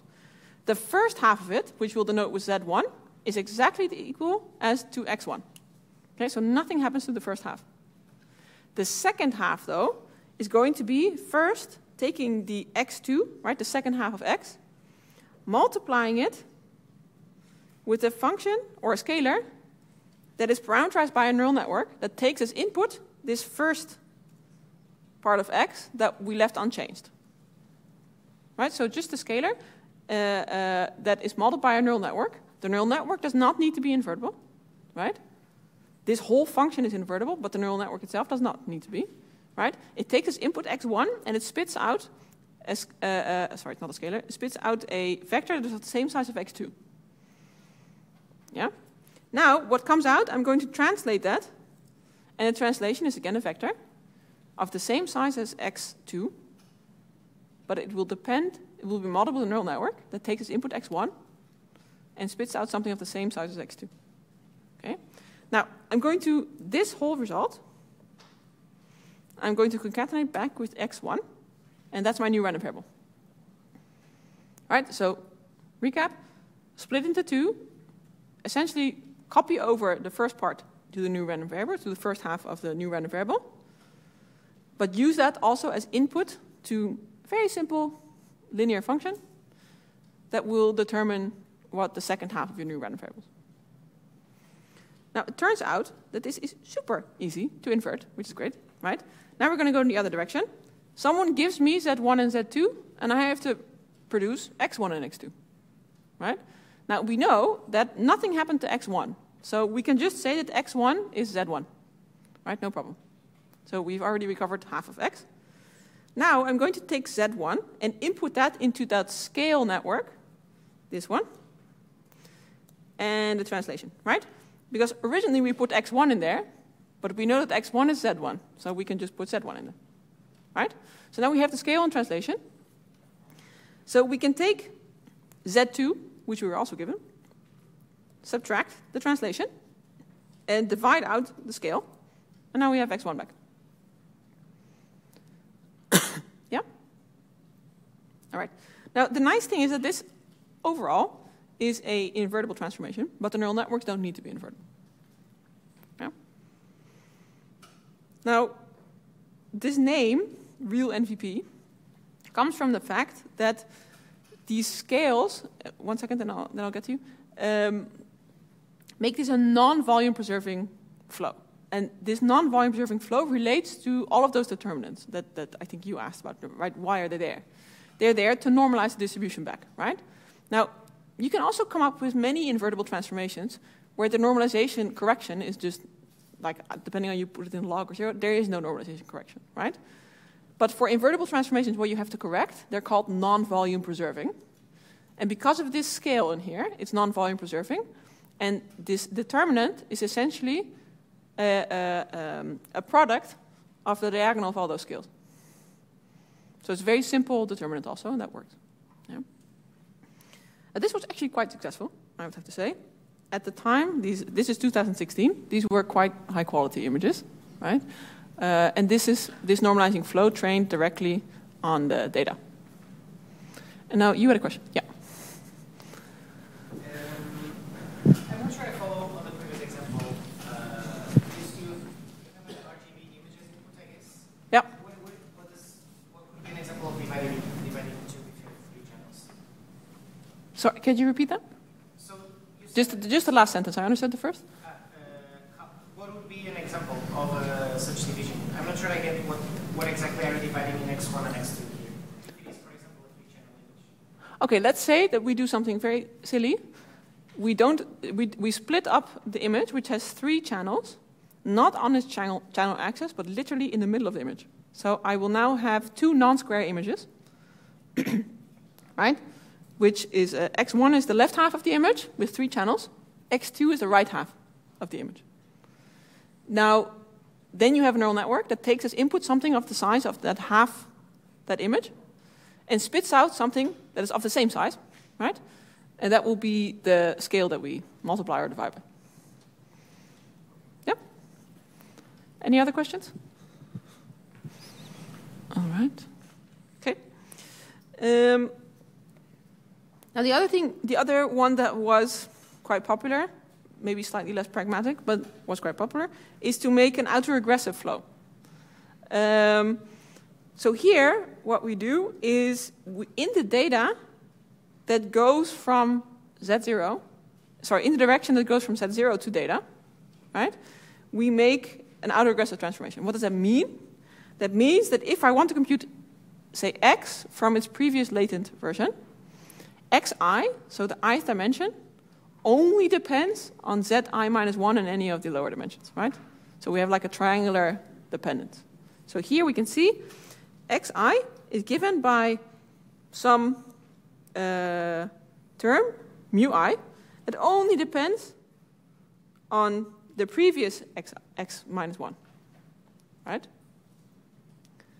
So there is, I'm kind of making a uh, yeah, triangular dependence of the, of the random variables. And that means that in the other direction, when we go from data to latent, this is no longer autoregressive, uh, and we can compute it all in parallel. Right, so at sampling time, when we go here, we take the top box. This is really slow to sample, right? I have to sample x1 first, and then x2, right? So this is, this is quite slow. All right. Um, now, the last thing I want to mention is uh, called GLOW, which was uh, proposed by uh, Diederik Kingma and his coworker. Um, here, one of the things they did is in real NVP, the, fl the flow that we talked, not the last one, but the one before, we discussed this sort of like splitting of the data, right? You have to split your one data point into two pieces. Now you can imagine that the choice of splitting here, again, is some type of hyperparameter, and it's up to the fantasy of whoever implements this on what to do. Um, and typically, one of the things people do is they literally say, let's take the input, shuffle it, and then split it. Right? And let's do different shuffles every time we apply this transformation.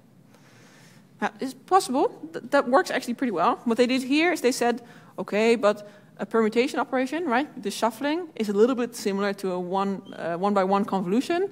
At least it's a special case of it. So let's just do one by one convolutions instead of permutations.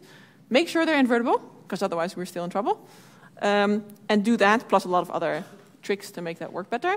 And here, uh, I guess the, the point they wanted to make is that normalizing flows actually do scale really well to high dimensional data. It can be a bit complicated, but it does work, and they got much better image quality. All right. Um, so we're going to do the last part uh, on denoising diffusion models. We have until 12. Supposedly some alarm goes off at 12, so that'll be a good uh, stopping point. Um, before I start, I want to uh, give a quick shout out to two people who are not here, but who are part of the team that uh, and Victor and I uh, work on. Uh, Daniel and Sarah. They've given some diffusion model lectures uh, in our internal study group, and I use part of their slides as a starting point. Yep. All right. Good. Now, we're going to try to figure out what a diffusion model is. They've become incredibly popular.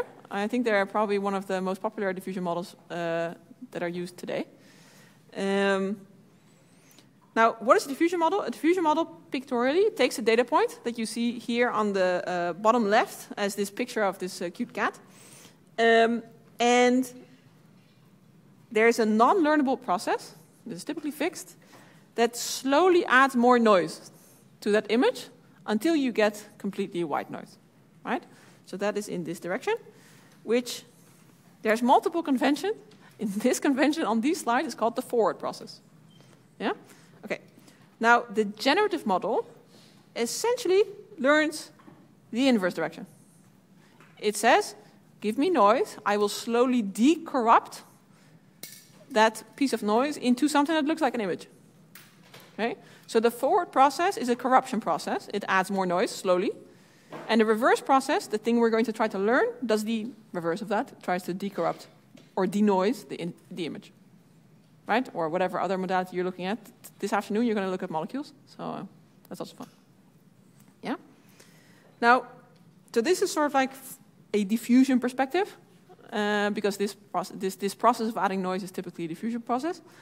There's other perspective on diffusion models. Um, you can also look at them from a, a, latent variable point of view or with an ELBO maximization, which is something we're going to do.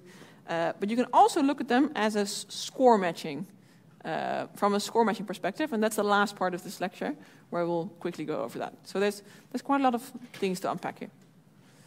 All right. Now we'll go, when we want to derive diffusion models, we'll go on the, along the latent variable uh, road.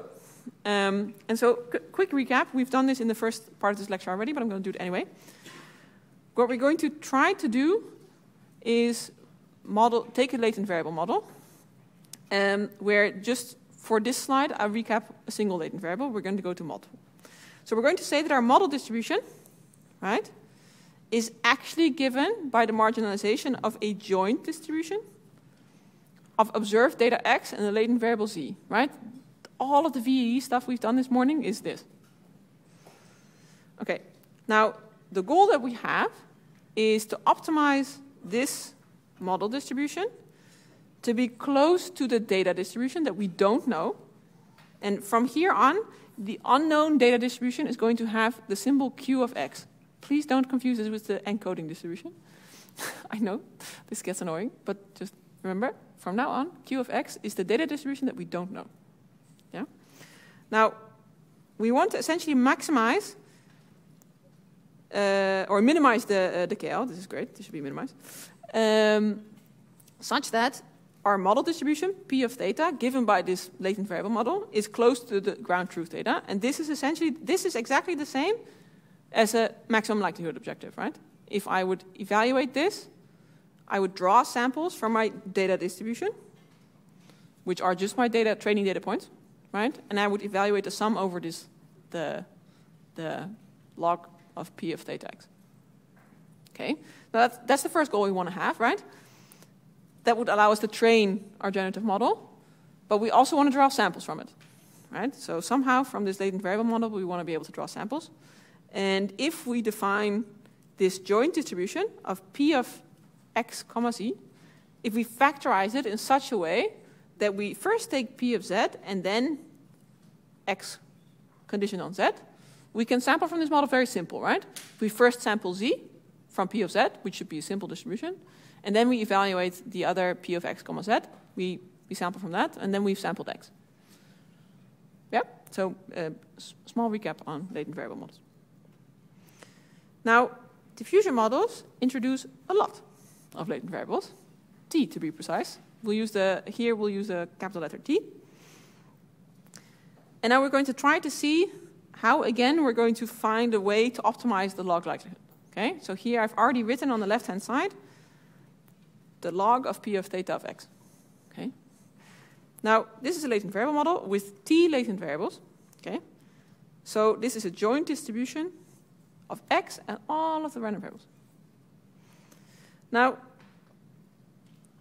just as before with the VAE, if I want to maximize this, right, that integral is horrendous.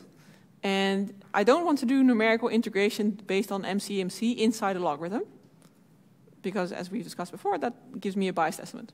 Yeah? So I'm going to do exactly the same trick as I did with the VAE. I'm going to derive a lower bound. Right? Now, we didn't really derive it for a VAE. We'll just slowly derive it here, because it's fun. Okay. and the way to derive it is as follows. You introduce a new distribution, Q of all of these z's conditioned on x, and I multiply and divide. Right? Right now I haven't done anything because I've essentially multiplied by 1. Right? Now, if I want to rewrite this, what I've essentially done is I said that the log likelihood is equal to the log, and then expectation with respect to q, that's this one, times p over the q that we divided with, right? So this term is exactly, this equation is exactly the same as the one above. And now what we can do is use Jensen's inequality, which says that if you have an expectation inside of a function, depending on if that function is concave or uh, uh, uh, convex, then the sign flips, you get an inequality. So you're allowed to pull the expectation through a concave or convex function. What you end up with then is, a, is, a, is, a, is an inequality instead of equality. Okay? So Jensen's inequality says that I'm allowed to swap this logarithm and expectation at the cost of now having an inequality. Okay? So what I end up with is, again, a lower bound to the log likelihood. Because I've introduced this new distribution, etc. Yeah? Now, a diffusion model will take a particular choice in how to choose how to choose the factorization of P and Q. And that's what we're going to go through next. Questions so far? Yeah. No, no. So the, the Q we're trying to approximate, the data distribution, is the unconditional QX. Yeah, that's, but that's a very good point. It's not the same. Any other question? Yeah. Started with the forward KL, right? In this case, in the previous slide.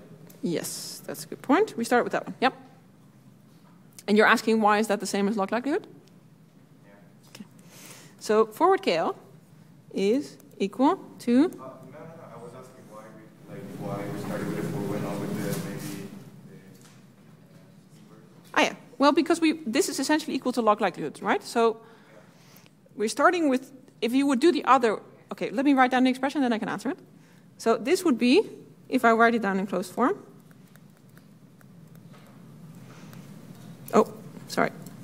I always do this.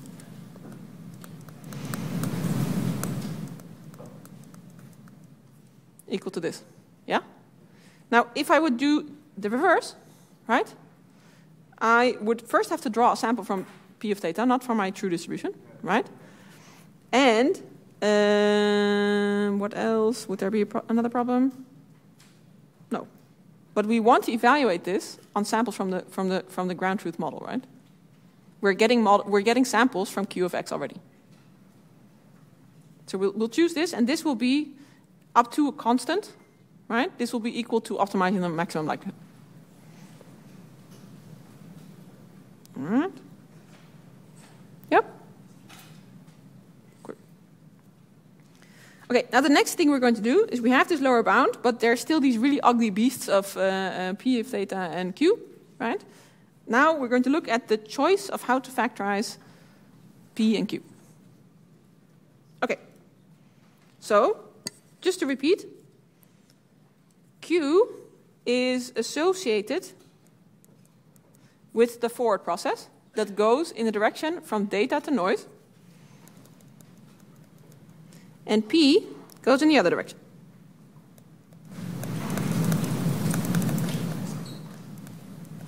Oh. Right, amazing handwriting. Okay. Now what we're going to do for the forward process is we're going to define a Markov chain to infer the latents given the data. Now, what does that mean? That means that this Q, I'm going to factorize as, as follows, right? So the joint Q, right, between the data and all the sets is just Q of x, this unknown data distribution. Oh, yeah? while you were saying. Did you say Q is the distribution of data P is from noise to data? Just so I'm on the same page. Yes. Yes. Q goes here. P we will associate in that direction. But we, we, we will, with the definition we're going to see right now, we're going to see that that makes sense. Okay, so the joint distribution of the forward process, right, takes the unknown data distribution Q of x, and then the conditional that we just introduced, right, of all of the latents given x. And we're going to factorize that term into a product of terms where you only depend on the previous latent variable, right? So we're going to say z1, which is the first latent variable. So I take x here at the top. If I want to know the distribution of z1 given x, it's just one conditional, right? Now, if I want to know the distribution of z2 given z1 and x, I'm going to say it will not depend on x. It only depends on z1, right? So it forgot all of its history. All of the information for that distribution is contained in z1. And so that you kind of repeat that through the entire chain. So you essentially say the conditional of zt only depends on zt minus 1 and not zt minus 2. Right? And that's the Markov property here. Okay. So, uh, and we're going to do essentially the same for the other process in the other direction, but as I said, in the other direction. So for this process, for the process where we go from noise to data in the bottom, we're going to say we're only going to define pz t minus 1 given zt, right? No zt plus 1, etc. Right? So the joint distribution is just a product of all of these two terms. Yeah? Questions on that? Mm, no? Now, I've copied over the definitions here of, that, of those factorizations, and we're going to plug it back in to that expression of the uh, lower bound, which was this. Right? So we had this expression for the lower bound of the, uh, uh, uh okay, the negative lower bound of the negative log likelihood. And now we're going to plug this and that into here and here and see what happens. And this will get us to something that resembles the objective we're looking for, but not exactly. Okay. So I've just plugged it in here, right? So I've literally just inserted the above equations. So you have inside the logarithm, at the numerator, we have these product, right? We have this term, that one, and then a product over uh, terms that go from t is 2 to capital T. And the same for the denominator. With the important thing here to note that this p always goes, defines t minus 1 given zt, right? But q always defines the distribution over zt given zt minus 1. So it's the inverse direction, right? All right. Now what we can do, because the logarithm of a lot of products is the sum of a lot of logarithms, right? We can try to start combining different terms together and rewrite this whole thing. Now, if we do that, we get something like this, right? So we take this term, right? That will be this. Now we take all of the products and we turn them into sums of logarithms, right? These t, these these two to capital T terms, right? And we put them all together. You get the sum over logarithms of this ratio, plus this final term where you've essentially only left this one isolated. Yeah? Can you all see that? Anybody not seeing it? Yeah. Uh, you said that Q is the density of data, like the Q, Q of x is. on Q of X. Yeah. But we don't really have Q of Z, right? For any like conditioning. So we're define. So right now we're we are going to make a choice of what Q of z looks like, and we're going to depending on that choice that we're going to make in a, in a second. We're going to say we'll we'll fix Q of z given x. Nothing learned. We're just going to make a choice for that so that it slowly corrupts the data, and then we're going to make learn p in the other direction. Yeah. So Q of x is unknown, and we'll make a predefined choice for all the conditionals of Q.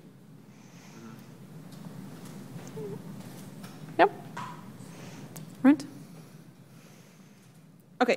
Now, let's have a look at that term again. I copied it. The, the last equation is the same one as I copied here at the top of the slide. Now, this looks a little bit like KL divergences, right? But it's not really. This is like a sum of KL divergences, but not really. Can someone tell me why it's not a KL divergence? Yeah. Because uh, the, the, the our distribution, we take the expectation of less. It's not what?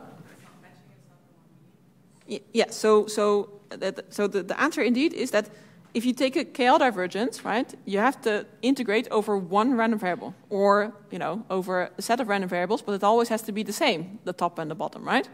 But here, the top distribution is over zt minus 1, and the bottom is over zt, right? So this is not really a KL divergence. I, I don't know how to make one out of this. So either we pick a different regrouping, or we have to flip the direction of one of these distributions. Now, the regrouping doesn't really work, so we'll have to flip it.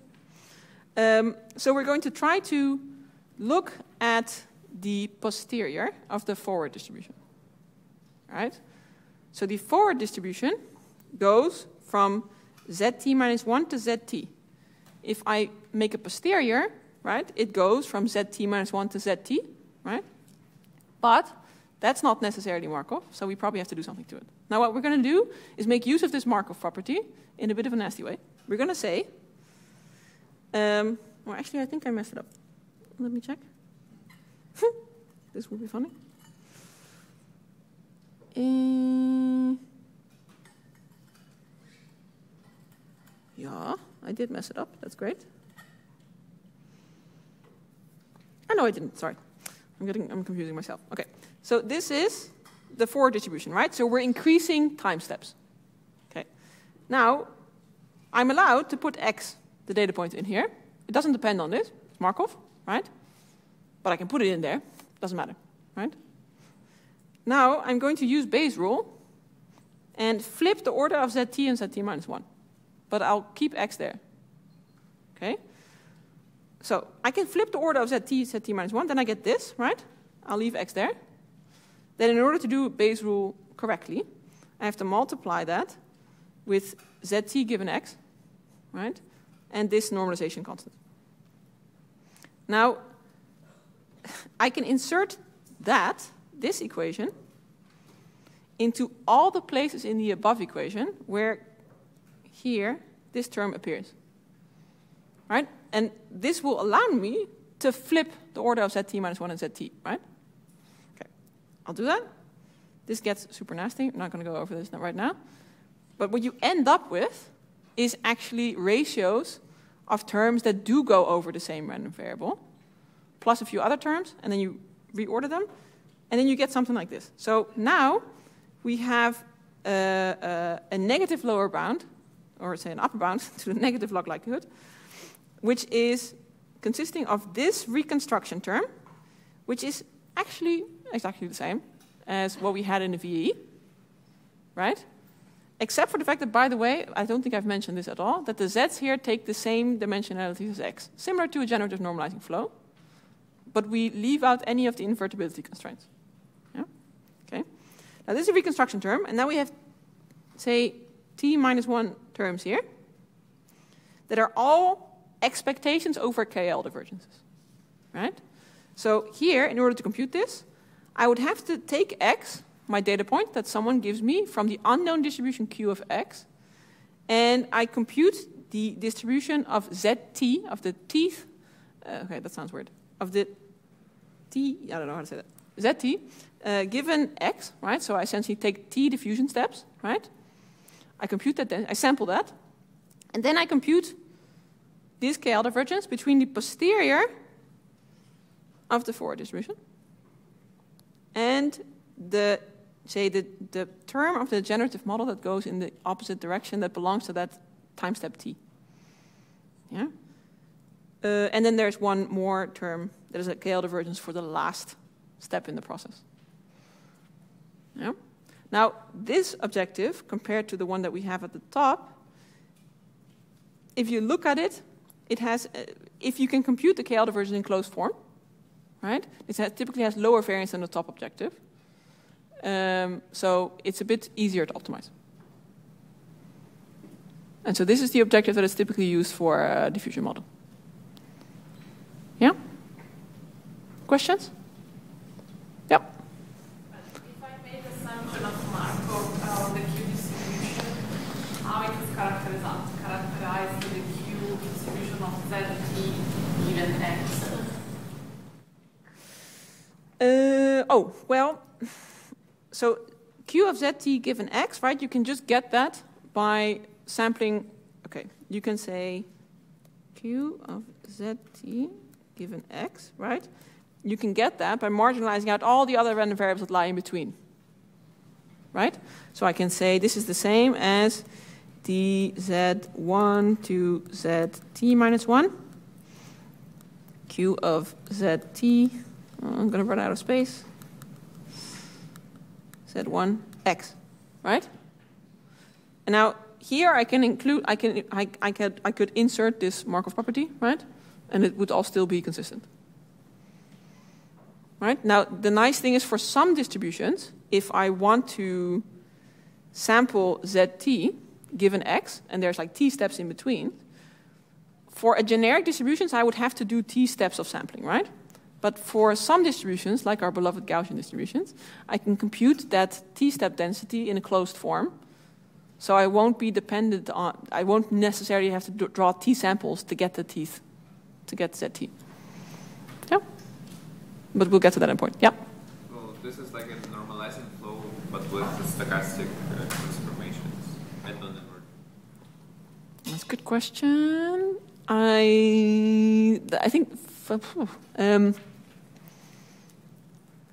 okay, but if a normalizing flow is stochastic, then uh, calling it a normalizing flow becomes a bit more complicated again, right? So I think you can see it like that. So maybe the other way of viewing it that I find more helpful is to say it's a VAE, but with the same size of latent variables, uh, with a whole stack of latent variables that is of the same size as the input, but you make it so deep that at some point you lose all information, and with a fixed encoder. I, I find that comparison easier than the normalizing flow one. Now, normalizing flow you could do too, but then I think you can it will become a normalizing flow with auxiliary random variables. So the, the noise you inject corresponds to auxiliary random variables. And that's not something we've discussed, so that becomes a bit hard. Yeah. What if you just say, yeah, I mean, your essentially your Q is just. It's just what? Uh, delta distributions. And No, but, yeah, but, but here it's not, right? here it's not. Yeah. But in normalizing flow, it's If it would be, if Q would be a delta distribution, but then we don't get, then you're not corrupting, right? Corruption has this property that you're losing information, right? And a normalizing flow, because it's invertible, per definition doesn't really corrupt, right? You're not losing any information. You're kind of rewriting, mainly, in a normalizing flow. But uh, where then intro- information is, like all the information is then in parameters, theta, so then we can, In a normalizing flow or in a... uh, diffusion. Well, the information, if, if, you, if, if I apply diffusion uh, up to t layers and t is very large, I will lose all information on my image. Yeah? But when you restore, Well, the, the, the, the, the, um, the restoring process isn't really, I would, it's not really a restoring. It's like, unless, you, okay, let's say that I would have taken an, image and I would have corrupted it up to halfway in the diffusion process. If I restore that, I have a whole distribution of images that I still get, but that contain some information of the original image, but could be new reconstructions, right? in that sense, it's similar again to a VAE, right? So if you take a VAE, I take an image and I push it through my latent code, right? That code doesn't contain all the information of the original image, right? So if I reconstruct it, I'm probably going to reconstruct something that looks similar to the original image, but it's not exactly the original image, right? okay. Right. When you said look similar, it looks similar to a machine or looks similar to a human? Oh, that's a very good question. Um, it looks similar according to the distributions and the KL versions. I think, um, you know, there's all sorts of uh, metrics that people devise on determining whether or not images, image distributions from a model and the real data look similar, right? We have uh, uh, uh, inception scores, etc. It's a bit of a, a dark art, I would say. Um, and yeah, here I would say probabilistically it looks similar. Yeah. What is the general order of? Oh, that's okay. The question is, what's the general order of the value of the value of t? Okay, very much depends. I think the paper by Jonathan Ho had a thousand, if I remember correctly, and then people started increasing it so that you know you get even better models. But then the problem is, if you want to sample from that model, you have to sample a thousand times, right? So there's also a lot of work that goes towards saying, okay, how do I design a, a diffusion model that is still a diffusion model, ish like, which has much less steps. So it depends a little bit on, yeah. It could be in the thousands. I think I've also seen diffusion models that have five steps. But then it's, I, is it really a diffusion model? I don't know. But yeah. But for like Imagen or it's, uh, Ooh, Imagen. I don't know. We'd have to check. Um, yeah. We have a reversible transformation uh, diffusion models, or we don't care about the steps. Uh, okay, so the question is, do we have reversible steps, essentially, right? And with reversible, do you mean invertible? Oh, yes. Yeah, no. So, and what if uh, they are? Um, okay, then we go to something that, uh, if, so, if they are invertible, we go to something that your uh, fellow student, uh, uh, then you get something that looks like a normalizing flow, but with additional auxiliary random variables. Then uh, should we require it uh, to be non-invertible? Should we what? Require it to be non-invertible? Like, No, but it's easier. I think so. I guess so. We don't have to make it non-invertible, but I guess the point here is that you don't have to make it invertible because making it invertible is a bit of a pain, right? And here we're saying you don't have to do it, right? And even if you would, I don't think you would gain much here in the end because then you then you're left with a normalizing flow with an auxiliary random variable, but it's still not an exact likelihood model. So I don't know if that's super useful. Yeah. I, I just follow up on that question. Uh, don't you think that, like in normalizing flow, you essentially, if you choose the base distribution as the standard, nor, like diagonal normal Mhm. square distribution, it's essentially also like a white noise. So Yeah. you all you use just in how to say like deterministic transformation, Mhm. and then you have some like data point, like image, and then you map it to basically noise, right? Yes, but the mapping is deterministic. So if I give you one, information is not lost, right? It's the same distribution. That's true, right? They're both. They both. If if and we haven't even done it yet, but if we're starting to make all of these Qs and Ps Gaussian, we're going to go also to a standard normal distribution. But um, the mutual information between if I diffuse towards the sample in the in uh, in diffusion, right, to the standard normal sample, I've really lost all information. I can't recover what the original x was. With the normali- normalizing flows, I know which one it is. Now there are, I have to say that you know there are versions of diffusion models where you can come up with a uh, uh, um, um, probability flow that is connected to this, and it gets very complicated. And then you can come up with a, uh, an invertible sample, but that's I think a bit beyond the scope of this uh, thing. I have a question for this slide. When we use the Bayes formula, we just introduce the x, sure, we can do it. Um, but then it also appears in the KL, and there I'm a bit confused because there it makes a difference if I condition them on the data x. Why, why does it make a difference for the KL if I condition on something? Not for the KL, but uh, so in, in, in fact, if we then want the distribution Q of set t minus 1 to ZT, Mhm. do we really condition in our flow then also on X? Yep, that x stays there. But it's not up in the. It's not there now. No, that's true. Why doesn't it make. I, I'm confused. Why can't we just introduce it? Uh, why can't we just use it? Uh, I, I, I, don't- I guess my counter question would be why not? But uh, it's, it's literally just a rewriting trick, right? So that we get something that is actually KL divergence over the same random variable. You know, KL, KL divergence between distributions over the same random variable.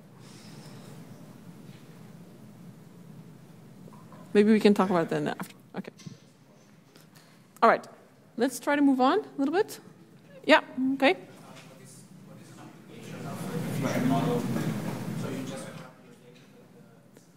It's like a, it's you can use it as a generative model, right? As like any other generative model, the application is you know generative modeling, which is not necessarily an application by itself, but you can use it, for instance, to do what uh, Imagen and DALL-E did, right? Where you produce new images or produce videos, or given a text, you can produce new uh, uh, uh, images. So any, say, downstream application that has a generative component, you can use a, a diffusion model for. Does that make sense? Well, but so the, what you will use in the downstream information is uh, downstream application is not the corruption process, right? You will probably only use the uh, uh, if you just use it as a pure generative model, you will only use the direction that goes from noise to data. Right? If if your if your application requires you to generate new data points that look like your original data, I don't need the forward process anymore. Yep. All right. Let's try to move on. Okay, now we've, this is the objective of the uh, diffusion model. Um, and there's a few interesting properties that I'm going to name now, and then we can uh, see um, how that works if we make an actual choice for what Q and P looks like. Now, already a long time ago, people realized that if you make a particular choice for Q, let's say Q is Gaussian, or Q is, uh, I don't know, binomial distribution, that the optimal reverse process, so the optimal P, has the same functional form, which means that if Q is Gaussian, then the optimal P is also Gaussian. Or if Q is binomial, then the optimal P will also be binomial. Right? And this is this is will help us to choose the functional form for P if we fix the choice for Q. Uh, and now the other thing is is that because we're going to apply many, many, many noise corruption uh, um, steps, if we do this for a long time, for many choices of Q, what we're going to end up with is a stationary distribution, which means nothing else than saying that if I take, if I compute this marginal of zt given x for a very large t, this will become independent of x. right? And that is also kind of what it means for it to lose all information, right? So we'll end up with a distribution that is only dependent on z, right? No information on x anymore. All right.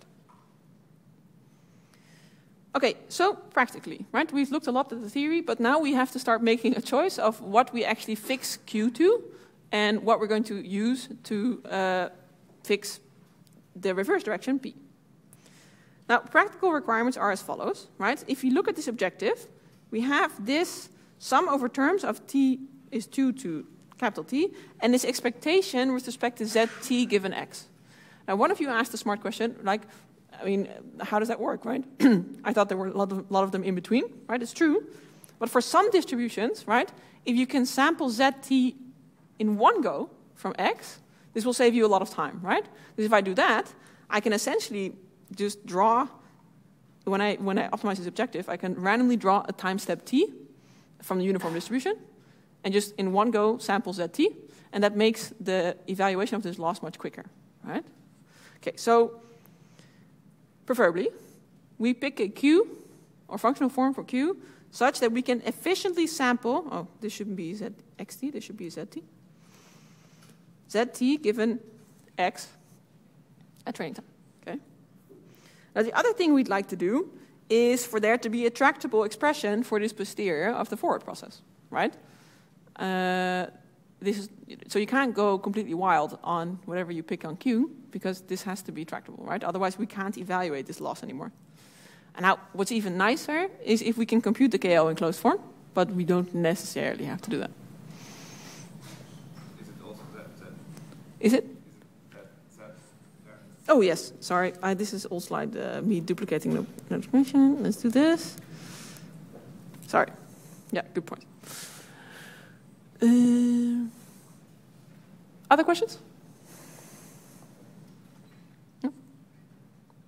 Okay, now the nice thing is that these requirements, practical requirements, are satisfied if we pick Q and, well, and therefore also P, uh, to be either Gaussian or binomial. Right? We all love Gaussian distributions because they, they marginalize very easily, right? And posteriors are easy. As long as we don't do any nonlinearities in there, it's all good, right? That's why I guess we love them. Okay. Now, let's actually have a look at that, right? So let's make the choice that the conditional for the forward distribution, Q, where we get zt given zt minus 1, is equal to this Gaussian with mean given by a scalar multiplication of square root of beta t, where beta t is some hyperparameter, times the previous uh, random variable, zt minus 1, and with a variance equal to this. So again, this beta t is just a hyperparameter, and each time step t will have its own noise parameter, uh, beta. Right? Um, now, the first practical requirement was that sampling at arbitrary time steps in one shot would be good, right? So ideally, I can do this um, z1 to zt minus 1 of qz1 all the way up to zt of x in closed form. Right? That would be easy. Now we can with a Gaussian because Gaussians are great. Um, and this actually just evaluates to this distribution. It's also still a Gaussian, but it just has a different mean and a different variance, right? Where the mean and the variance depend on the betas that we chose before in this way. Right? Okay, so first requirement satisfied. The second is that we wanted the tractable expression for the posterior, right? So we have to be able to evaluate that. And again, this is just a normal distribution with a bit of a nasty mean, but it, you know we do know this expression, this mean mu tilde, and uh, you know a bit of a nasty variance. But again, all depends on the previous uh, hyperparameters and variables. Yeah. So practically, this makes it very easy to train this diffusion process with Gaussian choices. Yep. Yep.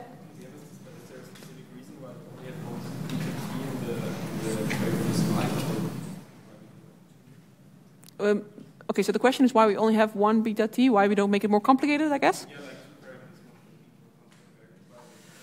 Oof, uh, that's a good point. I think if you ooh, if you make them independent, I think this is done such that your stationary distribution, if you add more and more and more noise, you're going to converge to the standard normal. I think if you make them independent, that might not be no longer true, but I'm looking at Chin-Wei, who might not also know. we have to have a look. I think this definitely guarantees that that happens. If you make them independent, I think you have to be a bit careful. Um, okay. Yeah? Yeah. I um, still cannot believe that it's true for uh, like all the distributions, so that you have the same, let's say, family for both uh, Mhm. process and the backward. Yeah. Or do, do you need some kind of conjugate priors? No, I don't think so. So, so the question is, is isn't this um, property that the functional form of the forward process is the same as the backward property? Does that rely, rely on any conjugate priors? I don't think so. So I don't think so. But I haven't looked super deep into this. But yeah, I would say with uh, uh, 80% certainty, I would say it's not related to that. But it is related to that? It's not related. It isn't. Okay, good. January also confirms. Good. Let's increase certainty up to 90%. Um, it's not related to that. Okay. Um, okay. So now we've seen that for Gaussians, right? This is all great. At least the practical requirements work out. So we can train with this super effectively, right? So just to make sure, if I would pick any other, say, distribution for, or not any other, most other distributions for continuous random variables, if Q of, if this one is of whatever form, the posterior doesn't have to be of the same form, right? It can be a completely different distribution, right? Like conjugate priors where it's not the same.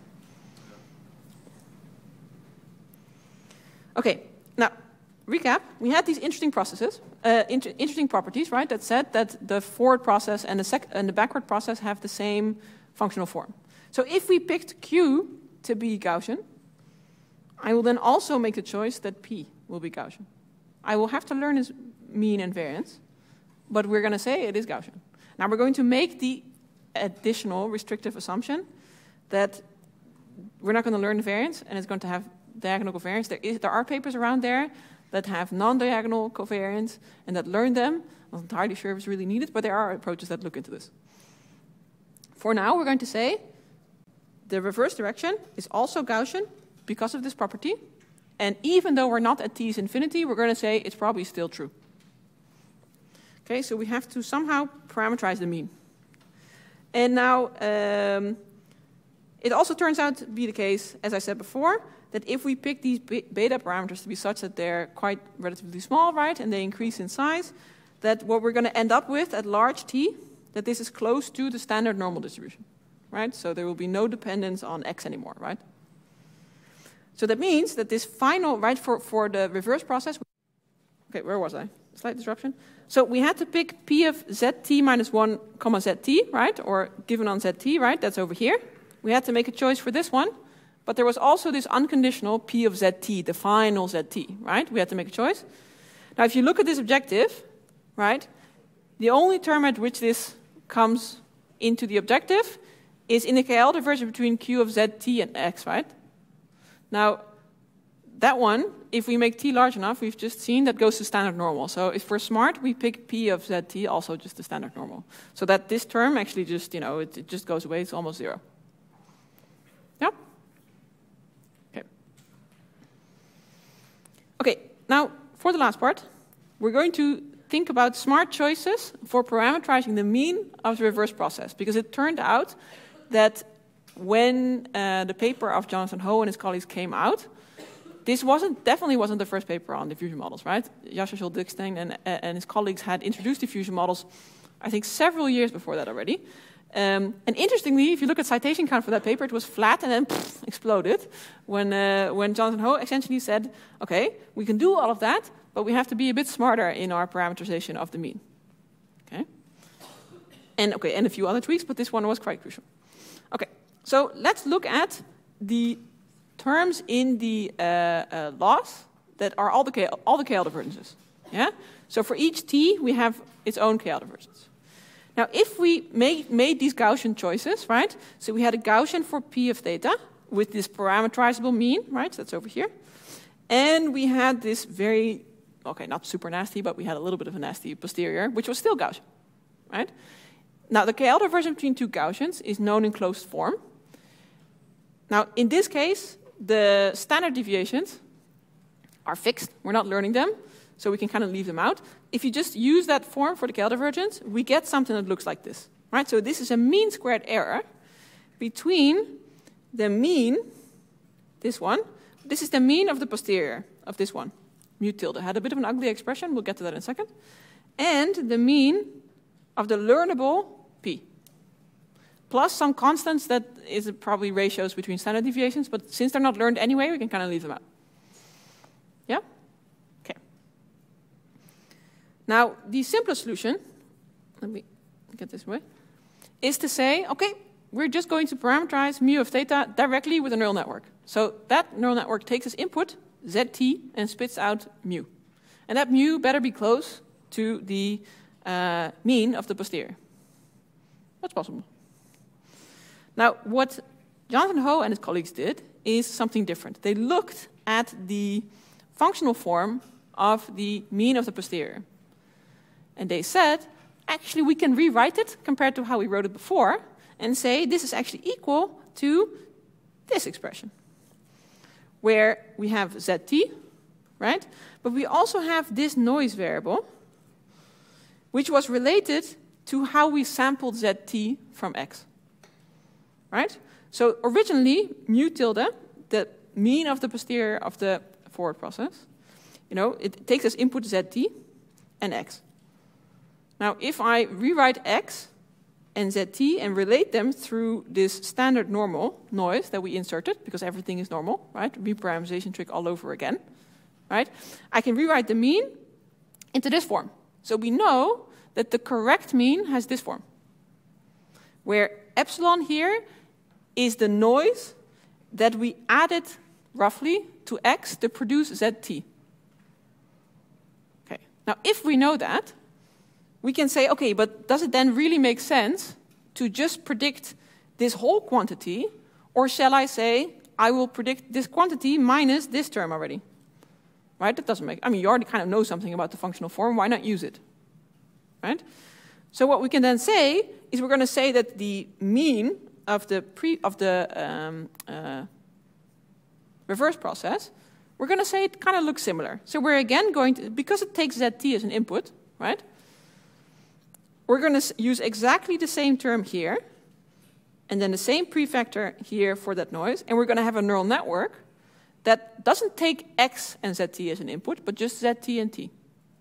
So essentially, that neural network has to learn what the noise was that was used to produce zt from x.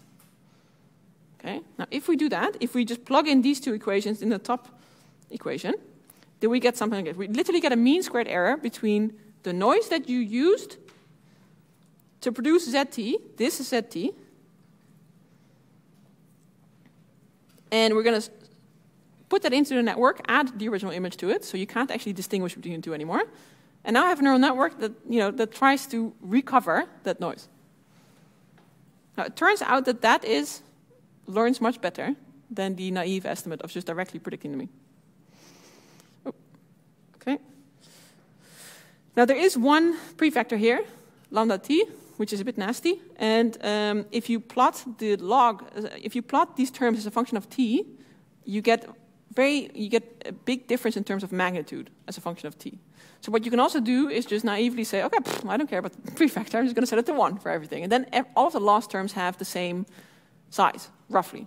Now, this was called the L simple loss in uh, Jonathan Ho's paper. Uh, also turns out to work much better. So you're now actually not really doing a uh, variational lower bound anymore, but it does work really well.